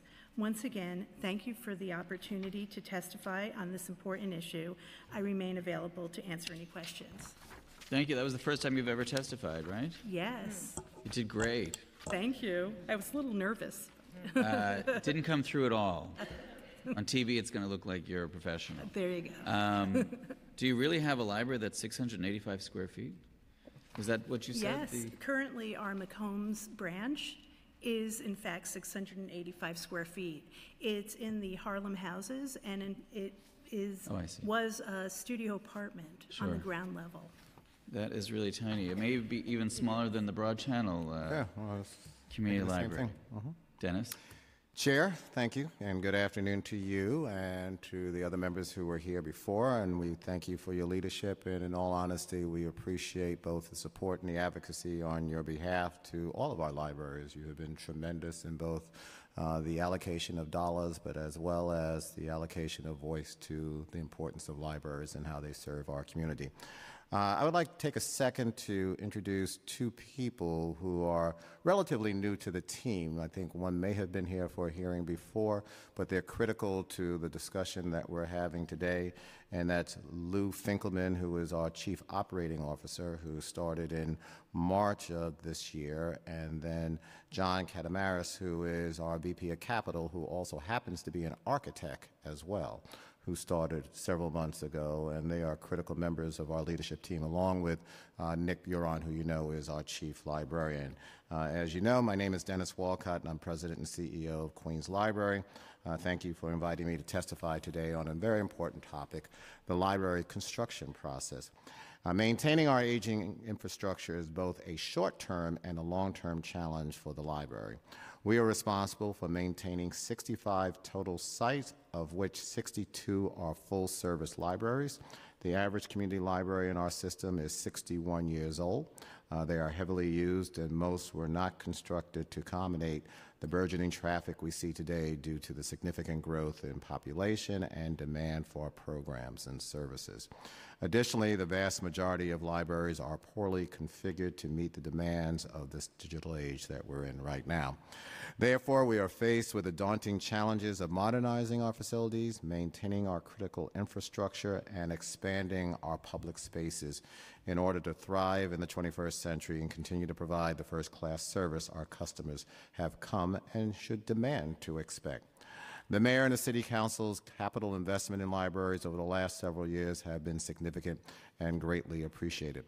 Thank you personally, and thank you to all for your contribution and your advocacy. Additionally, we are fortunate to have a strong partner in Queens with our borough president, Melinda Katz, whose funding, in addition to the city councils and the mayors, has allowed us to continue tackling the issues that I have outlined. However, capital needs continue to exist. For the upcoming fiscal year, the library has identified $68 million in additional capital needs and an additional $375 million worth of capital needs over the next 10 years. And I look forward to discussing those needs in greater detail at our preliminary budget hearing scheduled for March. Today's hearing gives us an opportunity to have an open discussion on how we can make the capital construction process for libraries more efficient in terms of both cost and project duration. I want to take a moment also to compliment our acting commissioner, Barrio, for her collaboration and leadership in attempting to address the challenges that we face. For example, the library and DDC now hold monthly instead of quarterly meetings where we discuss all of our library's active projects and strive to resolve outstanding project issues, some of which you talked about earlier and we will talk about in a little while, in an expeditious fashion. Uh, the commissioner is taking a reform-minded approach for tackling these issues in various stages of the construction process and communication between our agencies has greatly improved. DDC currently manages 56 projects for Queens Library with a portfolio value of $151 million. When combined with Brooklyn Public and New York Public, the DDC Library Unit is doing a great deal of work for all of us. Providing the library systems with greater flexibility and managing their own projects is extremely critical. While there are limitations on the resources we have to manage such projects, by allowing us the ability to manage additional projects and simplifying the process to do so, we can get more projects completed in a timely manner and prioritize projects more efficiently. Of the utmost importance is providing the library systems with the ability to address time-sensitive work, such as installing new, boil new boilers, pumps, and roofs uh, in an expeditious fashion, expedited fashion. We need to work together with all the stakeholders promptly to develop a process that will enable the library systems to perform such critical work expeditiously rather than having to wait years for the work to be performed. Certain elements of the construction review process need to be further studied as well. For example, issuing a change order on a project can add significant time to its completion. There are various things that happen that necessitate a change order to a project, such as scope change, field conditions, or other type examples where a change order is required. However, when the approval process for a change order takes six months to a year to complete, that is not in the best interest of the public or any other stakeholders in the project. In order to minimize the need for change orders, which can lead to project delays and drive up costs, we are working with DDC to ensure that library, the library provides maximum input at the earliest stages of the design phase. Having our needs and vision of all of the design elements incorporated at the beginning of the process will help mitigate potential delays to the projects. In this regard, the library is developing a far more expansive list of design standards for projects, which will also help alleviate many of the issues that have led to delays on our prior projects. Finally, remaining in the city's 10-year capital plan is of paramount importance for having a solid library construction process. Projects will not commence unless all funding is in place and will be abruptly stopped if a shortfall presents itself at any time during the project. When the library is forced to fundraise for its capital plan in a piecemeal manner, relying on individual council members, which we truly appreciate, to fund multi-million dollar projects, our buildings will rapidly fall out of the state of good repair. Being funded in the city's 10-year capital plan is vital for libraries to plan effectively and to initiate much-needed critical infrastructure or expansion projects. All the suggestions that I've outlined today, I believe, will lead to a more efficient construction process, which will serve to increase our commitment rates and bring renewed confidence to our community stakeholders and our customers. I look forward to working with my colleagues and partners in government to bring further reform to this process. Again, thank you, Chair Van Bramer and Chair King, as well as the council members for the opportunity to testify, and I would be happy to answer any questions you or your committee members may have. Thank you very much. Thank you very much uh, to all three of you. Um. The recent infusion, 110 million in capital, um, how will you use that? Is that going to specific projects uh, the three systems can identify right now? Sure, I'll take the first stab. We'll be using that to make sure that if there are gaps, if bids come in over the expected numbers, that we are plugging it with those. So, for example, in a number of our projects, we've identified where there are gaps in funding, and we've used those dollars to fund those gaps. So we have been very active in working both internally as well as externally to fill those holes, and that's how it's being used. So yours is not for any dedicated specific library projects, but instead sort of a plugging the holes? Well, both that as well as, say, for example, Rosedale, we had a definite need there, and so we're using it for that project. Uh, but there are other projects that are coming in over bid, or we have to fill the holes, so we're using it as well for them. Linda? Yes, we are um, planning to do five um, full branch overhauls. Um, The libraries that will be um, addressed are the New Lots Library, the New Utrecht Library, Canarsie, Brownsville, and Eastern Parkway. And those projects are gut renos or? Yeah. Right, essentially? Yep. Um, While we also filled holes on certain projects, we are planning on renovations, um, critical maintenance renovations for about 12 of our branches, and those include um, boiler replacements, AC, HVAC upgrades, um, and ADA. Um, Some of that is West New Brighton branch in Staten Island will receive an elevator. Um, We are looking also at Chatham Square branch, um, Clausen's Point, Hamilton Grange, um, across, across our system. Sure. Um, And just to go back to Queens. Sure. Can you give any more uh, branch you've seen me. specificity uh, like the other two systems have? Since I've been handed the sheet, yes, I'd be glad to do uh, that. Uh, So, for example, in Far Rockaway, we're filling a shortfall there. In Glendale, interior renovation, we're filling a shortfall there. Uh, With Howard Beach, we have dealt with uh, the windows and door replacement, so we're working on that. Uh, In Jackson Heights, we're looking at an expansion interior renovation. Seaside, a roof replacement. Uh, Seaside, also window and door replacement. St. Albans, a roof replacement. Steinway, Phase Two of a renovation. And then one of the things I don't think we've talked about before, and we've used the money for this, as well as we're developing an operations center, uh, which will be near Kennedy Airport, where we'll have our operations hub, which will then free up space in the libraries where we have things stored. And then with that space that we free up, we'll be using that for programs and expanded services within those libraries where we have snow blowers and other types of things.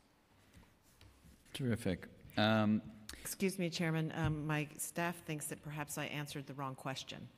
Um, If we're talking about the $110 million that was issued to the three library systems in, for fiscal 2018, um, our $30 million um, is being used for shortfalls, and 10 million of it is going toward the central project.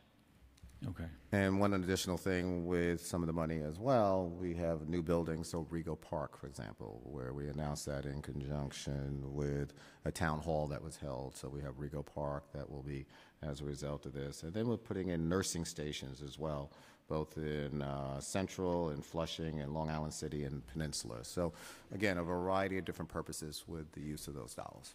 Rego Park is now fully funded? Rego Park is fully funded. Wow.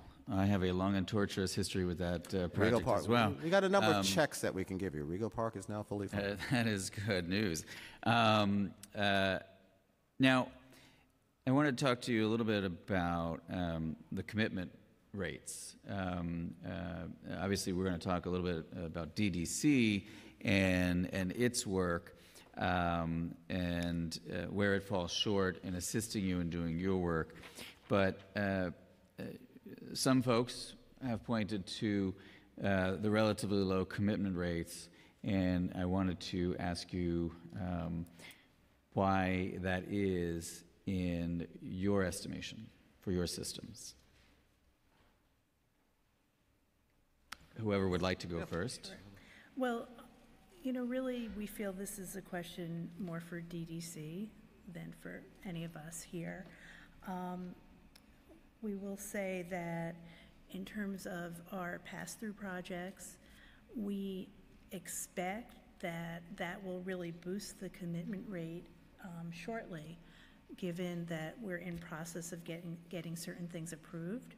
But um, in terms of the DDC managed projects, um, we do have quite a bit in design.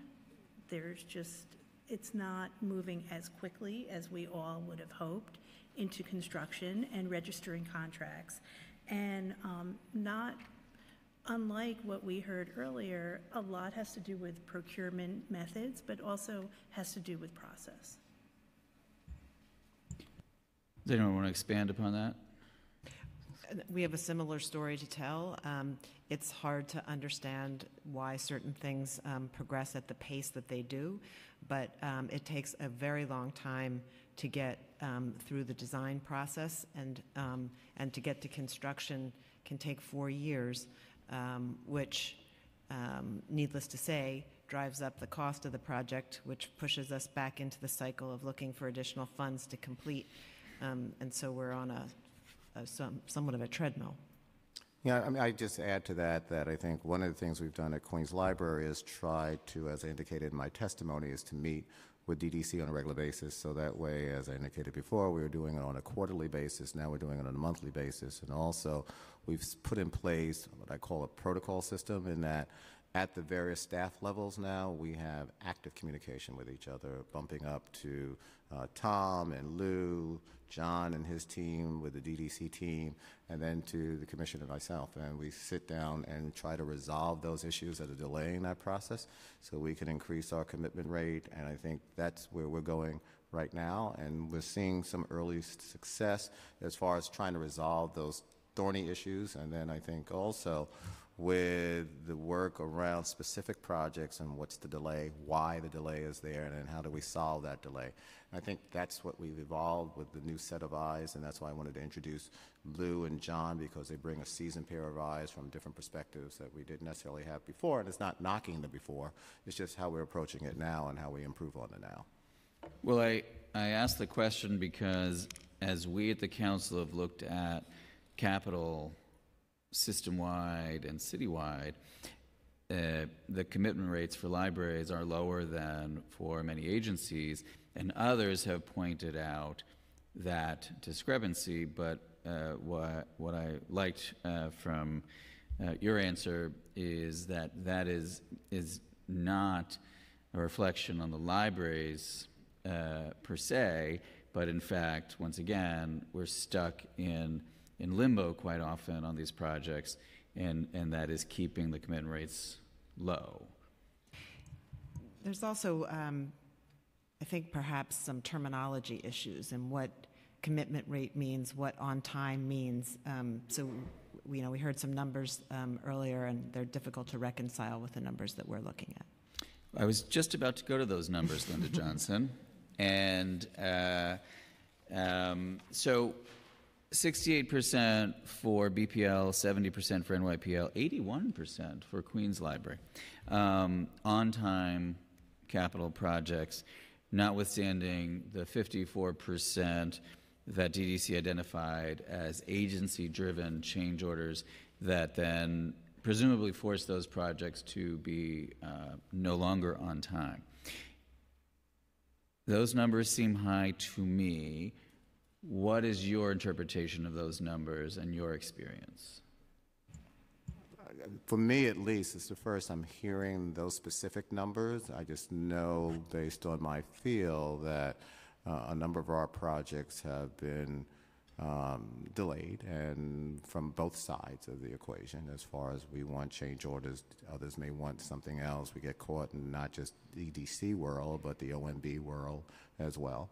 And so I don't have a specific comment to the percentages because I haven't really, I, to my knowledge, heard that number before. And so I can't comment what's not. I can tell you, though, that as you may know from prior testimony, that we put in place a tracking system that's open to the public and to our elected officials and others to take a look at. And we try to update that on a quarterly basis. And with that update, it provides where the delays are. But I, I can't respond to the specific numbers itself because I haven't seen those before. It seems uh, awfully high to me. Yeah, the only hesitation I would give, again, is without the facts in front of me, is that obviously we're aware of all the big projects, but there are a lot of little projects that are going on that are done very quietly, they're very efficiently and completed uh, when it comes to roof work and other types of things. So again, I would have to peel away the numbers to see exactly where that's at, but I just don't know. Would that I could say the same. Um, You know, if you look at it on a base, on a, on a fiscal year basis, and it's a little unfair to take the current fiscal year um, as an example, but those are the numbers that I have in front of me, because, you know, we could make big strides in the next six months, and we're, and we're hoping to do that, and we're planning to do that. But if you look at where we are right now in fiscal year 2018, um, our commitment rate is less than 3%. So it's, you know, even if we triple it um, in the next six months, it's, it's not approaching 68%. Um, Frankly, I can't explain the numbers. I don't really understand them, and it's not my experience right now on the projects in our portfolio. Um, Since I've been at the library, which has not been a tremendously long time, it's been about two and a half years, um, we have not had 50 some odd percent or 70 percent of our projects hit the milestones that they should be hitting in order to keep them on time and on budget. So now, how we define on time is is also uh, critically important. But and Dennis, I, I heard what you're saying about smaller projects, but in my time, which is now approaching 20 years, uh, being affiliated with this committee.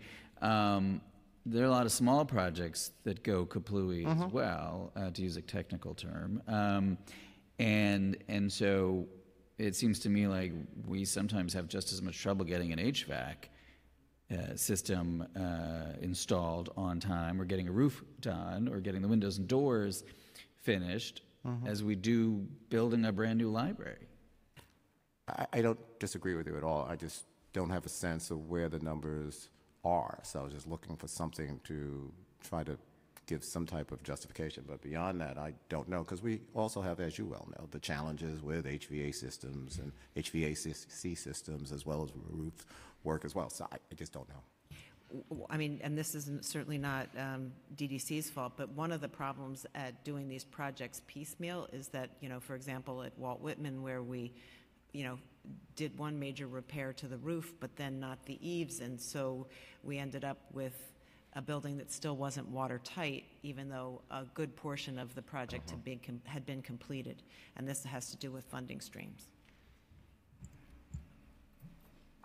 I will say that we have several boilers in our portfolio that have taken more than two or three or four years. And these are things that In the private world, they would be six months. but- So, so obviously, to the average layperson hearing you say that, they would just go nuts, right? I mean, how is it that we can't get a boiler done, and you know, uh, the the kids are going to be cold in the winter, and and that's just nuts. So, so maybe explain why, in your estimation, that could even be possible in the city of New York, where we've got a capital commitment to the NYPL uh, in, in the hundreds of millions of dollars, um, that we could get into a position that a boiler takes three years. Um, I, I think that it's a process-driven question, I- I- answer.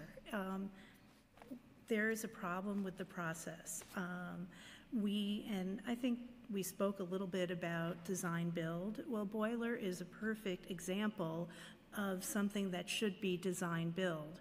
It should not have to go through a design procurement to get an engineer on board to provide a design that then has to get reviewed. Mm-hmm.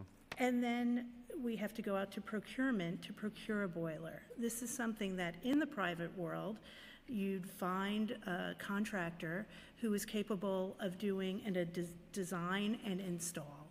And these are the smaller projects that suffer the most. So, and this dovetails a little bit into Hunter's point, but it applies to all of you. Because when you have a bad contractor, when something has gone horribly awry,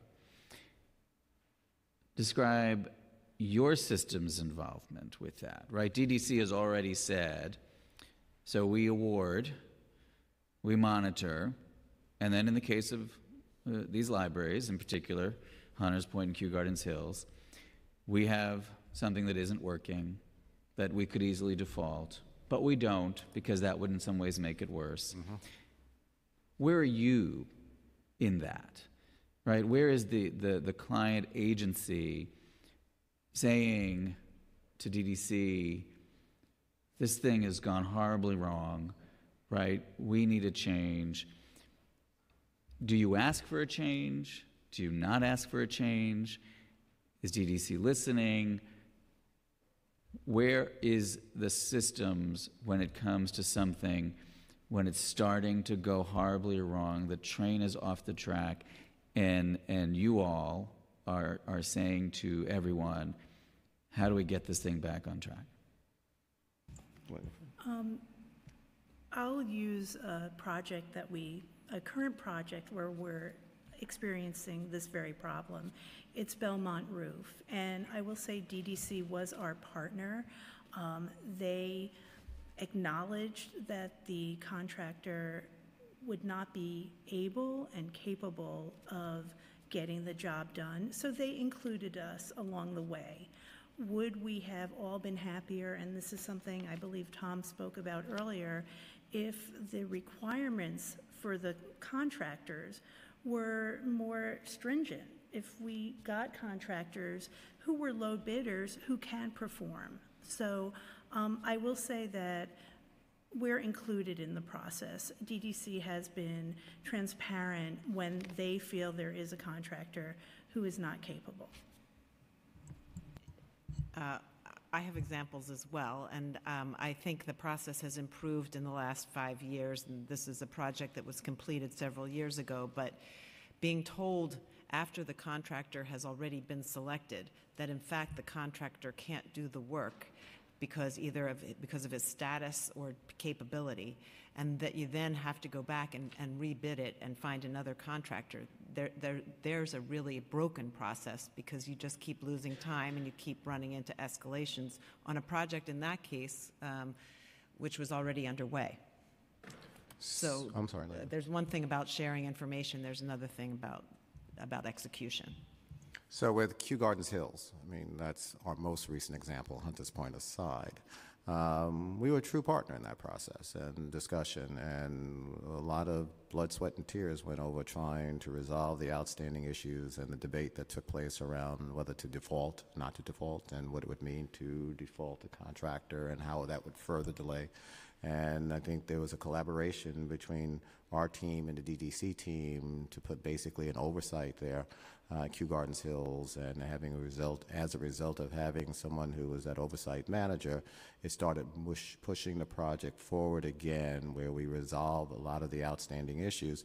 But even with that, there was still questions as far as whether the project would be completed or not, and completed in what was then the new timeline.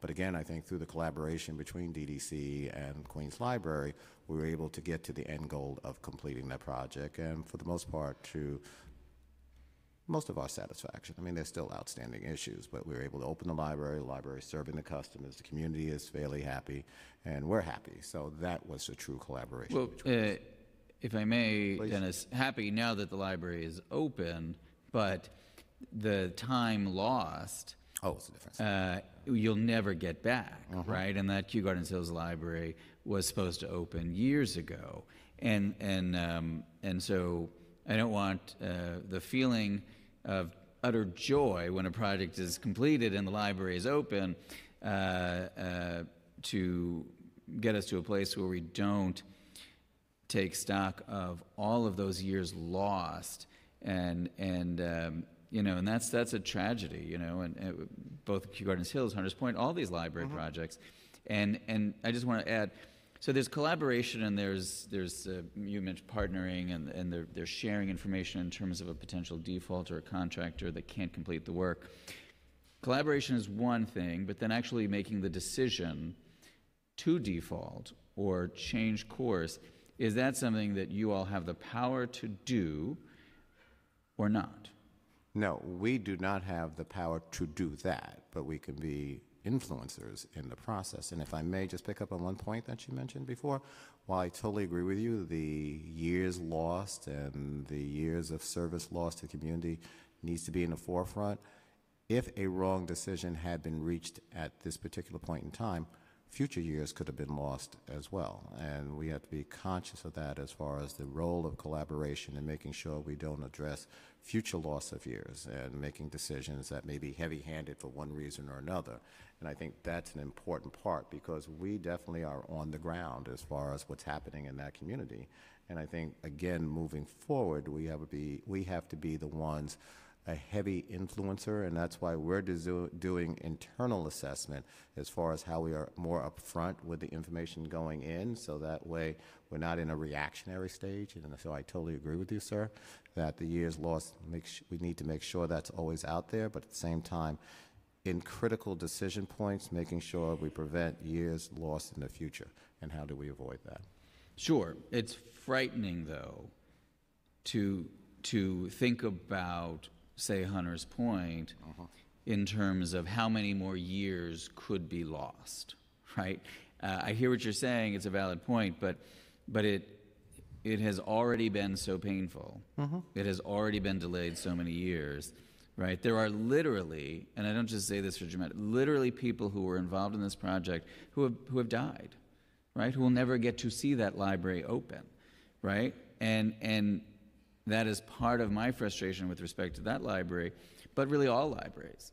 And, and so I get that it could be worse. It could always be worse, I suppose. But the, the, the point is, what, what power do you have um, uh, to, to get in there, to see it? And look, I, I, I believe the answer is, is DDC has most of that power, right? Let's be clear. They have most of that power. You have an advisory, you can push, you can recommend. But we've got to get to a better place than this horrific decision where we're finding ourselves in, where defaulting a contractor is worse than staying with someone who is incompetent and unable to do the job right.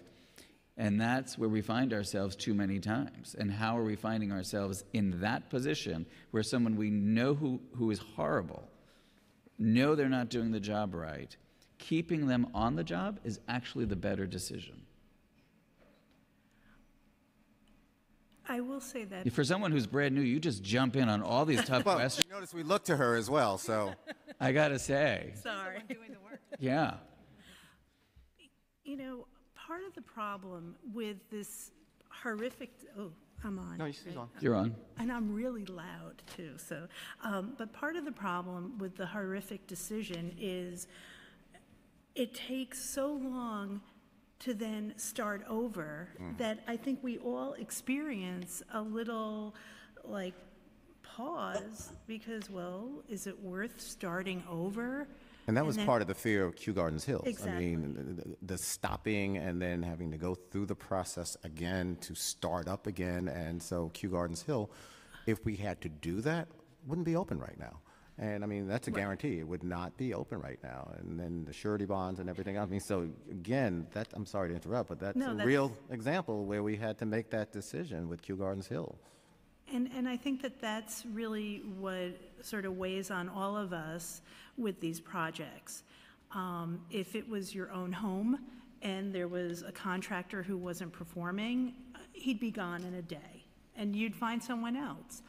Um, I think with these projects, we have so much time invested in them that it makes the decision so much more difficult. So I asked DDC before about how they prioritize library projects and the staffing at the library unit. Do all three of you believe that the Department of Design and Construction gives the appropriate level of priority to library projects? And are they appropriately staffed, in your opinion? The library unit in particular. You know, I, I don't really feel like I'm in a place where I can, um, you know, sort of run someone else's business, but if you just look at the statistics, the fact that, and I can say this because of the three library systems, the throughput for Brooklyn is always at the bottom of the heap. Um, Not significantly, but the fact that we are, relative to other agencies, getting the level of service that we are, that's even by their own um, statistics, so much lower than the others, would, you know, lead you to only one conclusion, which is that there's a problem, and if it's staffing or whatever it is, but it needs to be addressed. Yeah, I, I would just respond somewhat similar to Linda in that in reality for their portfolio, I mean, libraries are a small part of their portfolio. And so with it being a small part of their portfolio, obviously the resources are devoted elsewhere. But then I would also put a comma there for a second or a semicolon because at the same time, I think that we have gotten more attention over the last number of months. And in fairness to DDC, I think they put in certain new protocols in place for communication with both the library unit as well as other types of ways of working with us as libraries. And so the feeling loved has increased more and more uh, as a result of, I think, the changes that the uh, commissioner and her team have made. And again, always try to be fair and balanced. I mean, when we call around an issue, they respond right away now. I mean, it's not an issue, there isn't a delay. And again, with our protocol systems that we've put in place, at least at Queens, I feel the attention is there. But again, we have to deal with it on the grand scheme of things as far as libraries are just a small portion of DDC's responsibility. They're definitely a small portion of the responsibility, but even that small portion of the responsibility, I believe, should get the same level mm-hmm. Of professionalism and attention uh, as their largest portion of their portfolio. I always feel, though, that they are professional. I mean, that's the one thing. I mean, I've never felt that they have not been professional to us, and I have not felt that they have not responded when we have called around an issue. But at the same time, I think with the allocation of resources available to them, um, their allocation of resources is other places as they have other major responsibilities. I would just um, echo that point and say that our colleagues at DDC are professional. They certainly are knowledgeable. Um, I, I think there's an issue with potentially staffing, but also allocation of staffing and where is the staff needed. I know that we've experienced delays in the review process, whether it be engineering reviews or constructability reviews. And I don't know if that's where there needs to be more staff so the reviews can get done more expeditiously, but something's not quite working. And I don't know that it's just the number of staff or where they are in the organization. Right. I appreciate that. And let me be clear, I'm not uh, attacking uh, the professionalism, but really the prioritization and the staff allocation that you just spoke to. That's, um, that's clearly the issue here. Um, So I wanted to ask you uh, all, but really with some focus on Dennis and Hunter's Point, because I asked the, the acting commissioner this, what lessons were learned at Hunter's Point uh, that have caused that agency to change the way they do business? And so the question is specific to Dennis in terms of what the Queens Library could have and should have done lif- differently, your lessons learned, uh, but then also to the other two systems. Do we think the lessons learned that they talked about are the right, run, right ones or enough? And what other lessons learned could there or should there be to make sure that there are not other library projects languishing for years like all three of you experienced, but obviously Dennis specific to Hunter's Point, but the other two systems specific to uh, lessons learned that you heard from DDC today. Is it enough? Should we go further? So I'll I'll be glad to take the first stab at this. So lessons learned, one, that we're going to be more active in the engagement or process early on, and both the design part of the process as well as the monitoring of what's going on there. Uh, It's my sense, and you would know this as well, and probably way better than I do, that Hunters Point, extremely important project, but at the same time, somewhere along the line, it got off the track as far as the design is concerned and the monitoring and what was going on there. And we, the library, need to play an active role in the beginning stages of the process. And not saying it's DDC, but a variety of different circumstances that contributed for it to be where it's at right now. We're not going to allow that to happen in the future as the library system. We're putting that in place already with Far Rockaway. Uh, so with Far Rockaway, we've raised a number of questions. We've talked to DDC about it, and we're responding as far as anything that pops up uh, that is of concern. And as we move forward, uh, making sure both from a community input process as well as an internal process, we're active players in the beginning and not allowing it to be dictated to us as far as what something will look like. We're never going to allow that to happen again uh, as long as I'm CEO. And so that's something that to me is extremely important that I've learned uh, from Hunters Point, as well as Kew Gardens Hill to some extent and some of the other projects.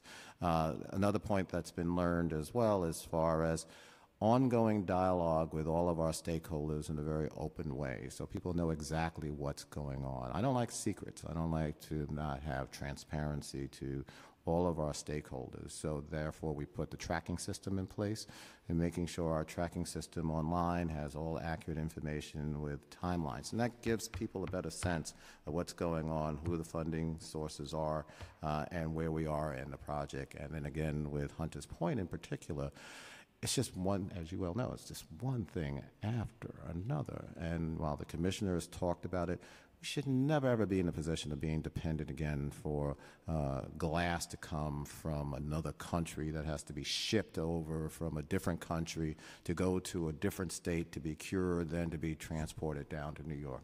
I mean, there's just flaws in that, and we've experienced it. And uh, through no fault of DDC, uh, as a result of that process, then we were subject to a, a dock strike.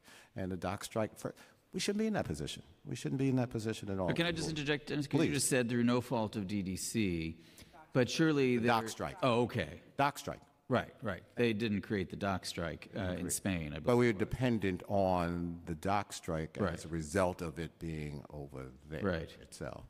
And so, again, I think through the input of uh, everything that we've learned through Hunters Point and some of the issues that we faced with Kew Gardens Hills, Right. our goal through John and his team in working with Lou will make sure we have a front-end process in place that will never allow that to happen again. And that's some of the lessons that we've learned as far as both the design part of it and then taking a look at a vertical design. Again, you know, as I've taken a look at some of the old information. Vertical design is very difficult and understand space limitations, but a vertical design puts in a number of challenges, which I imagine we'll talk about in a little while as well. And a vertical design opens us up for all types of issues that we have to respond to. And how do we flatten that out? Final thing that I've learned, and probably more than final, others as well, in that I don't think with Hunter's Point in particular, uh, and as we move to double the size of our Lindsay boxes and moving to basically an average size of 18,000 square feet compared to 7,500 square feet of how they were built before, uh, people took a look at the staffing implications and what that means from a design aspect as well.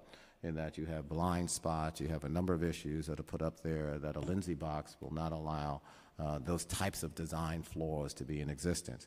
And I think we have a responsibility to do further research and take a look at what that means as far as future designs moving forward. So those are just off the top of my head, sir, some of the lessons learned from Hunters Point and what it means for the future designs of libraries, at least in our portfolio. So let me, let me just say a couple of things. Please. The windows, uh, this committee uh, asked a previous uh, DDC uh, commissioner where the windows were at. That answer is now legend in the city council, right? Where we had a GPS tracking device on a ship in the middle of the ocean. And other members now recite that answer uh, when we talk about DDC, right? We should never, ever be in a position again where we, we are tracking uh, a ship with uh, an, an app, a geolocating app device um, that in some cases wasn't even accurate, right? We, we had no clue where the glass was sometimes, and, and it was horrifically uh, uh, bungled every step of the way. And, and uh, if one thing came out of this hearing and experience that we're never going to do that again, that's a very good thing. But um, as you know, Dennis, we're talking about $40 million in, in uh, uh, public uh, dollars. Uh, in this particular case, that's an extraordinary investment of taxpayer dollars. And, and we've got to do a better job of making sure that in our desire to build special buildings, which is uh, a good and important element of what we do, uh, we are not doing things like ordering glass that's made in Germany, glazed in Spain, shipped to Connecticut, and then finally brought home to Long Island City uh, in a way that most average people would be mortified and angry of learning about that journey and about that choice. And also, when you talk about lessons learned, I think one more thing for me is the operational implementation of the impact of a design as well. And that's really an important lesson learned. So, using the glass as an example, what if something happens to that? What does that actually mean? Now, we've talked already to DDC about that, and so uh, we have a plan moving forward, but what does that mean? Or you're going to have gravel around a certain area, but at the same time, does that gravel really serve a functional purpose, or is it just aesthetically pleasing? And what's the operational implementation and managing of that particular aspect of a design as well? Or you have a design in a library, which is not Hunter's Point, uh, that may look pleasing, but in reality serves no functional purpose. And if something should break, then we bear the cost on the expense side of replacing it because it's no longer capitally eligible. What does that mean for the library moving forward? Because then you're taking away expense dollars that can be used elsewhere as well. So, what's the functionality of a design, and as far as the operationalizing of it in the future where we have to bear it from an expense side while it may look good, but the reality is we have to maintain the looking good, which then takes away from Right, and these were horrific decisions that were made, and I realized before you were in, in your position. Uh, one final question, though, about Hunters Point before we get to the other two systems. DDC testified that the building would be ready in August of 2018 and handed over to you. Yep. Um, uh, I respect the acting commission a great deal. However, we have heard a lot of dates over uh, the last several years. Uh, do you believe that that's real? Do you believe you'll get the building in August of 2018? And if you get the building in August of 2018, how long is it going to take the Queens Library to open that building to the public? I have great trust in this commissioner, so I believe it, and that uh, she and her team have worked very hard and closely with us as far as talking about the next steps with Hunters Point and where things are at. And so we're prepared, based on what she said, uh, to then go in. And for Hunters Point, it will take us up to six months to outfit it. It's a uniquely, as you well know, a unique design. It's not your true uh, library when it comes to the outfitting. When we talk about outfitting a normal library, it can be roughly three, four months. With Hunters Point, we're saying six months to outfit it because We have to do a lot of the integration work, and it's just a lot of complexity connected with the vertical building uh, that's in place. So we're saying six months once we get it turned over to us as substantially completed. And are you, are you um, being cautious in your estimates? Six months, I realize that the building is unique, but then you're talking about February of 2019, that library opening. That is correct. I'm giving you a timeline that is realistic for us. We've had a number of internal meetings with our team. And so whenever it's turned over to us, we will turn it back over uh, as an opening library or a library that's ready to open in a six-month period of time, just based on our normal process of not just the ordering, because we could start that, but it's a lot of the gut work of connecting a building to become a library. And that's behind the scenes. I mean, one of the things I wanted to do with Kew Gardens, but it was a little late before I was able to put that idea in place. And this is something that I want to do is really get the public a sense of what goes into opening up a brand new library because I think people don't have a clear sense of what's involved in that. So once we get it, six months, we'll have it open uh, for the public. I'm sure you uh, would realize that anyone uh, living in the vicinity of the Hunters Point Library hearing that would be, in some cases, outraged and, and really angry, as I am, that, that we're looking at those kind of dates uh, on a project that should have been open to the public already. And, um, you know, it is, it is an utter disgrace uh, that this has happened uh, to the people of Long Island City. And while the day that it opens will be a glorious day, uh, it will always be an outrage that that library uh, was mangled as it was, given uh, its importance to the community. And uh, I can only urge you and your team, as we will DDC, to uh, to try and shrink those timelines and get that building open even sooner. Uh, the people of of, of uh, New York City deserve better uh, when it comes to these capital projects, and um, it, it is impossible to go back into the past now and revisit every decision that was made. But uh, we've got to make sure that this doesn't happen again. We truly Um, respect that, sir. Do the other two library systems have more on the non-Hunters Point related parts of those questions? Unless you'd like to offer commentary on the Hunters Point Library. Um, yeah, Since Risa's done such a great job, she can take over and uh, testify for me next time as well. if you've got better answers on the Hunters Point Library, Tony Marx is in trouble. Thank you I guess that's a no. For Mr. Um, um, uh, pass-throughs. So, look, there there is there is, uh, as we all know, a fundamental uh, difference in in some ways from the, the the monies available to York Public Library than the other two systems, right? So there's there's an ability maybe to do more of these projects potentially uh, because of the the the need to to front load cash, which the other two systems are a little bit uh, more challenged by. But do you want to do more? If you want to do more, particularly for Brooklyn and Queens, can you even do more? And do you think DDC should be, uh, in some ways, letting these projects go through, pass through much more frequently?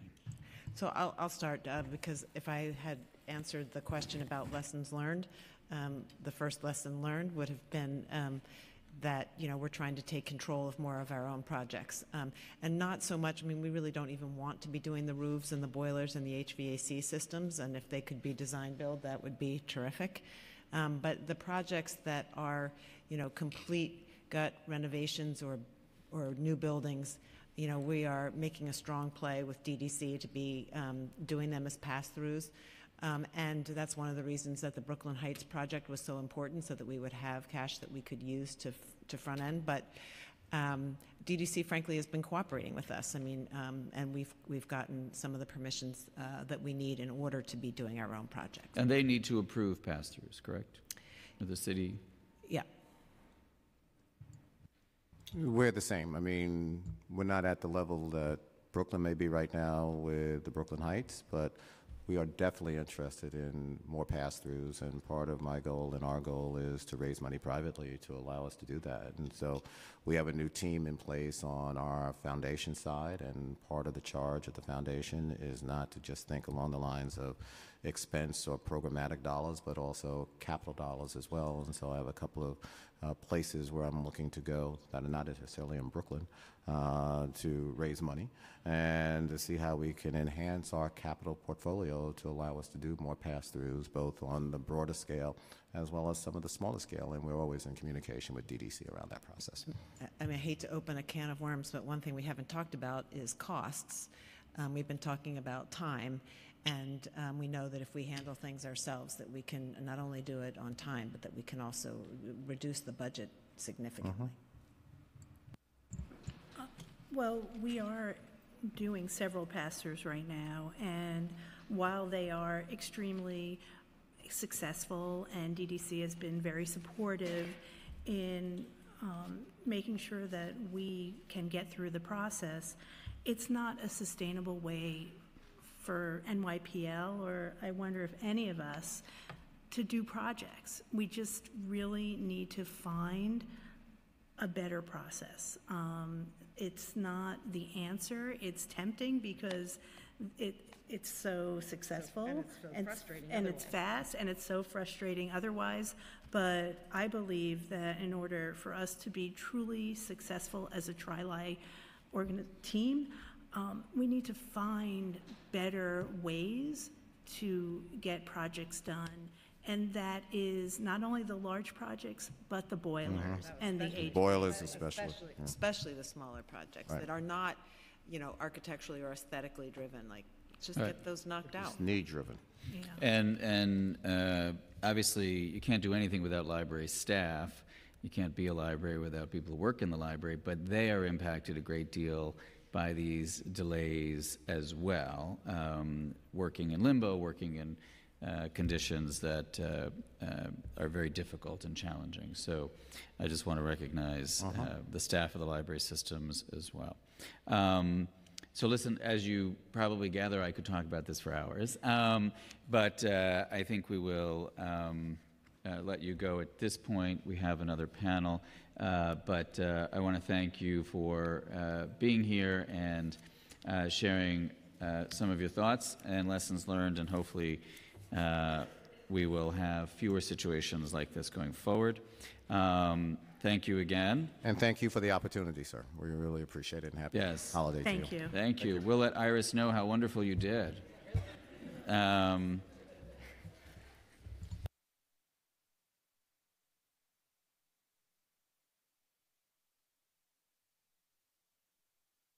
and our last panel is Michael White, uh, Jean Ruskin, I think, and Catherine O'Sullivan.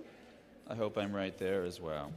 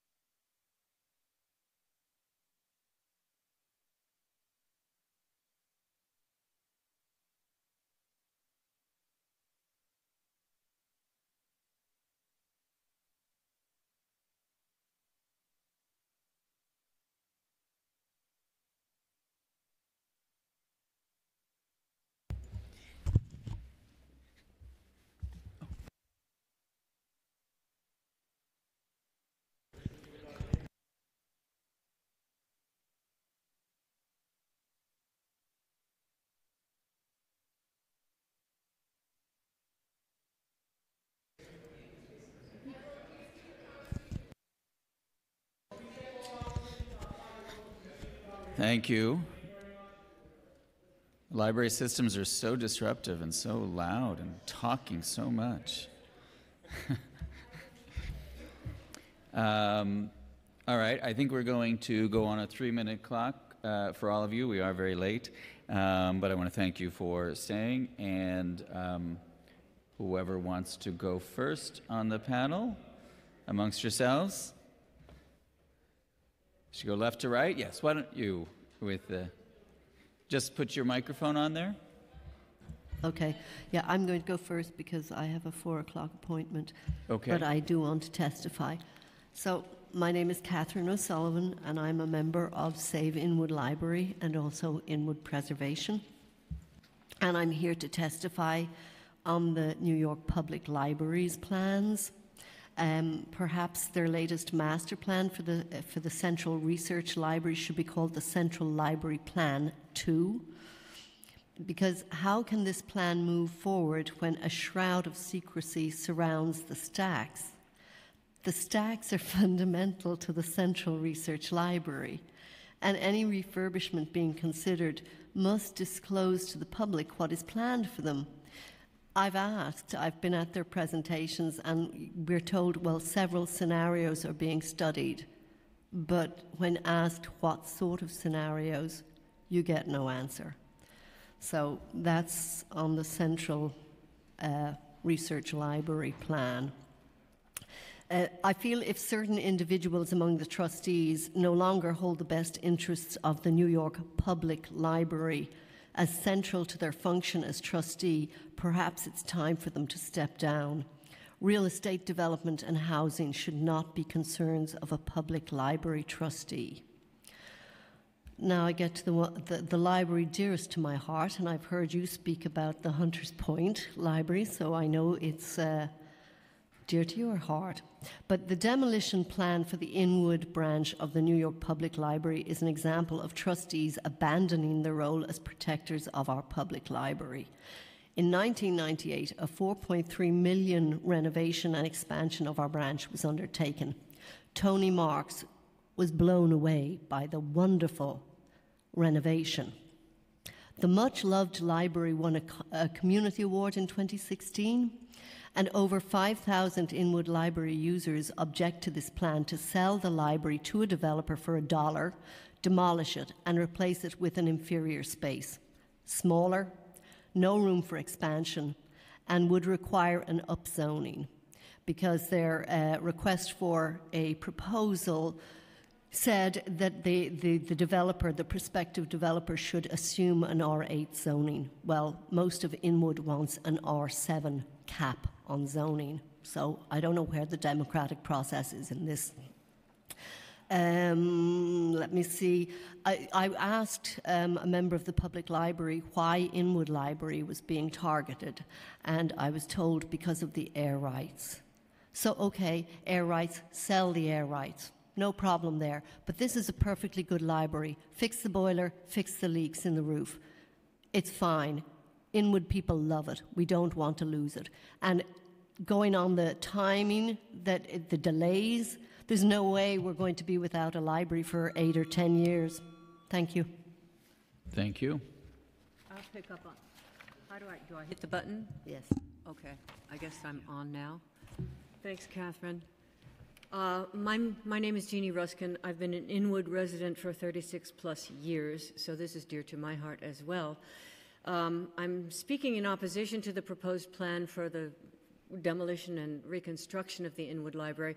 In 2016, Inwood Library was the only Manhattan Library branch that won the NYC Neighborhood Library Award for libraries, going above and beyond to provide exceptional services and programming for their communities. It's open seven days a week. That's rare. Inwood's award winning library serves people of all ages with programming that includes tutoring, homework help, English classes, story time, Spanish language computer and internet classes, workshops on immigration rights, free film screenings, and more. Scores of Inwood students count on Inwood's library to do their homework. They don't have computers or internet at home, and they're required to do their homework on a computer. Now, we've been told, and this has been documented, Inwood Library would be sold to a developer for $1. This is part of the public private deals that are being worked here. Inwood Library would be torn down with no guarantee of any interim library or even library services during the demolition or reconstruction. This means no guaranteed library for five or more years. You know what I'm talking about. I've just heard lots of your reasons and experience there. Now, that's a lifetime in a student's history. Five years is a student's lifetime. Why would it take five or more years? Because there's documented toxic brownfield contamination next door, which has probably migrated to the library site. That takes time to test and to clean up. The latest standard new building in Inwood is the TD Bank building. It took three and a half years to build that, and it's only two stories high. They want to build something 14 stories high on the library site that would be luxury housing after they tear down the library. The proposed new library would be permanently capped at a size that's 20% smaller than its current size. And now, how does that serve the future of a growing community estimated to become possibly 14,000 more people if the expansion due to the rezoning goes through? There's no guarantee that any Inwood residents could get an apartment in this proposed building. This affordability is based on some AMI that is an average of Westchester County as well as other parts of the city, and it does have no bear, has no bearing on Inwood residents' actual incomes. Uh, in, in addition to which, it would be offered at a lottery, on a lottery basis. So this is a displacement issue that also needs to be addressed. Now, the city owns dozens of empty and underused properties in northern Manhattan. They don't have to tear down our library to build housing. Thank you. Uh, Save Inwood Library campaign is a local campaign of Inwood neighbors. We've been very active. Thank you for the time. Michael White, Citizens Defending Libraries. Um, I'm glad to hear the testimony on the Inwood Library and endorse the uh, complaints and objections to the Inwood Library being turned into a real estate deal. At this hearing, I've heard a lot of uh, uh, grinding down on Department of Design and Construction and uh, the offering of ideas why it would be good to uh, turn a lot of construction over to uh, the libraries privately. But I'd like to remind everybody that um, one of those private deals was the Central Library Plan, which started out at uh, $300 million price tag. Um, it ultimately went to over $500 million, over half a billion dollars. How much over that, we don't know because those figures were not released. Now, that was one of the things that was turned over to the, uh, the library. And in fact, uh, when the per, we heard per square footage figures here, uh, in 2013, this committee heard per square footage about that when it was still a lower price, and then it was uh, multiples of what the DDC figures were for per square footage, which brings me to what I am prepared to testify, and uh, testimony is up on the web, and that's where the Central Library Plan is today.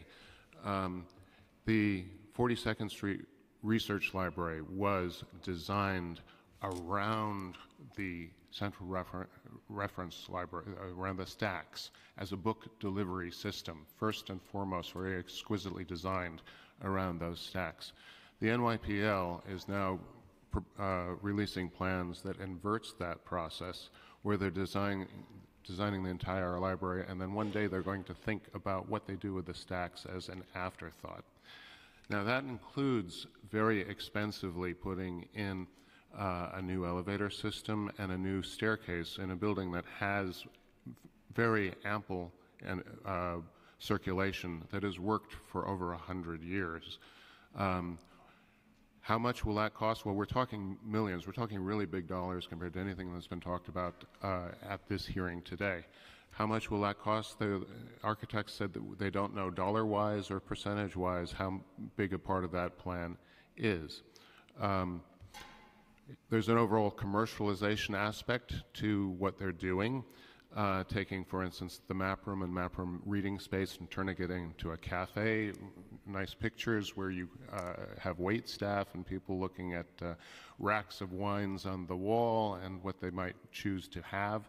Um, Did the trustees, they're out of control. Did the trustees question that? No. Their only question about uh, turning it, putting in a cafe was whether it should be opened up to take over part of the public space of Bryant Park. Um, There's more complete testimony before you. It's up on the web. Um, You're talking about getting control of DDC. I think you need to get control over the construction process that the NYPL trustees are doing and as, as a private sector project, uh, excluding DDC. Uh, I appreciate both of you uh, staying uh, so long and, and uh, caring enough about libraries to testify here today. Appreciate your input. Uh, thank you very much for being here today. And with that, we are adjourned.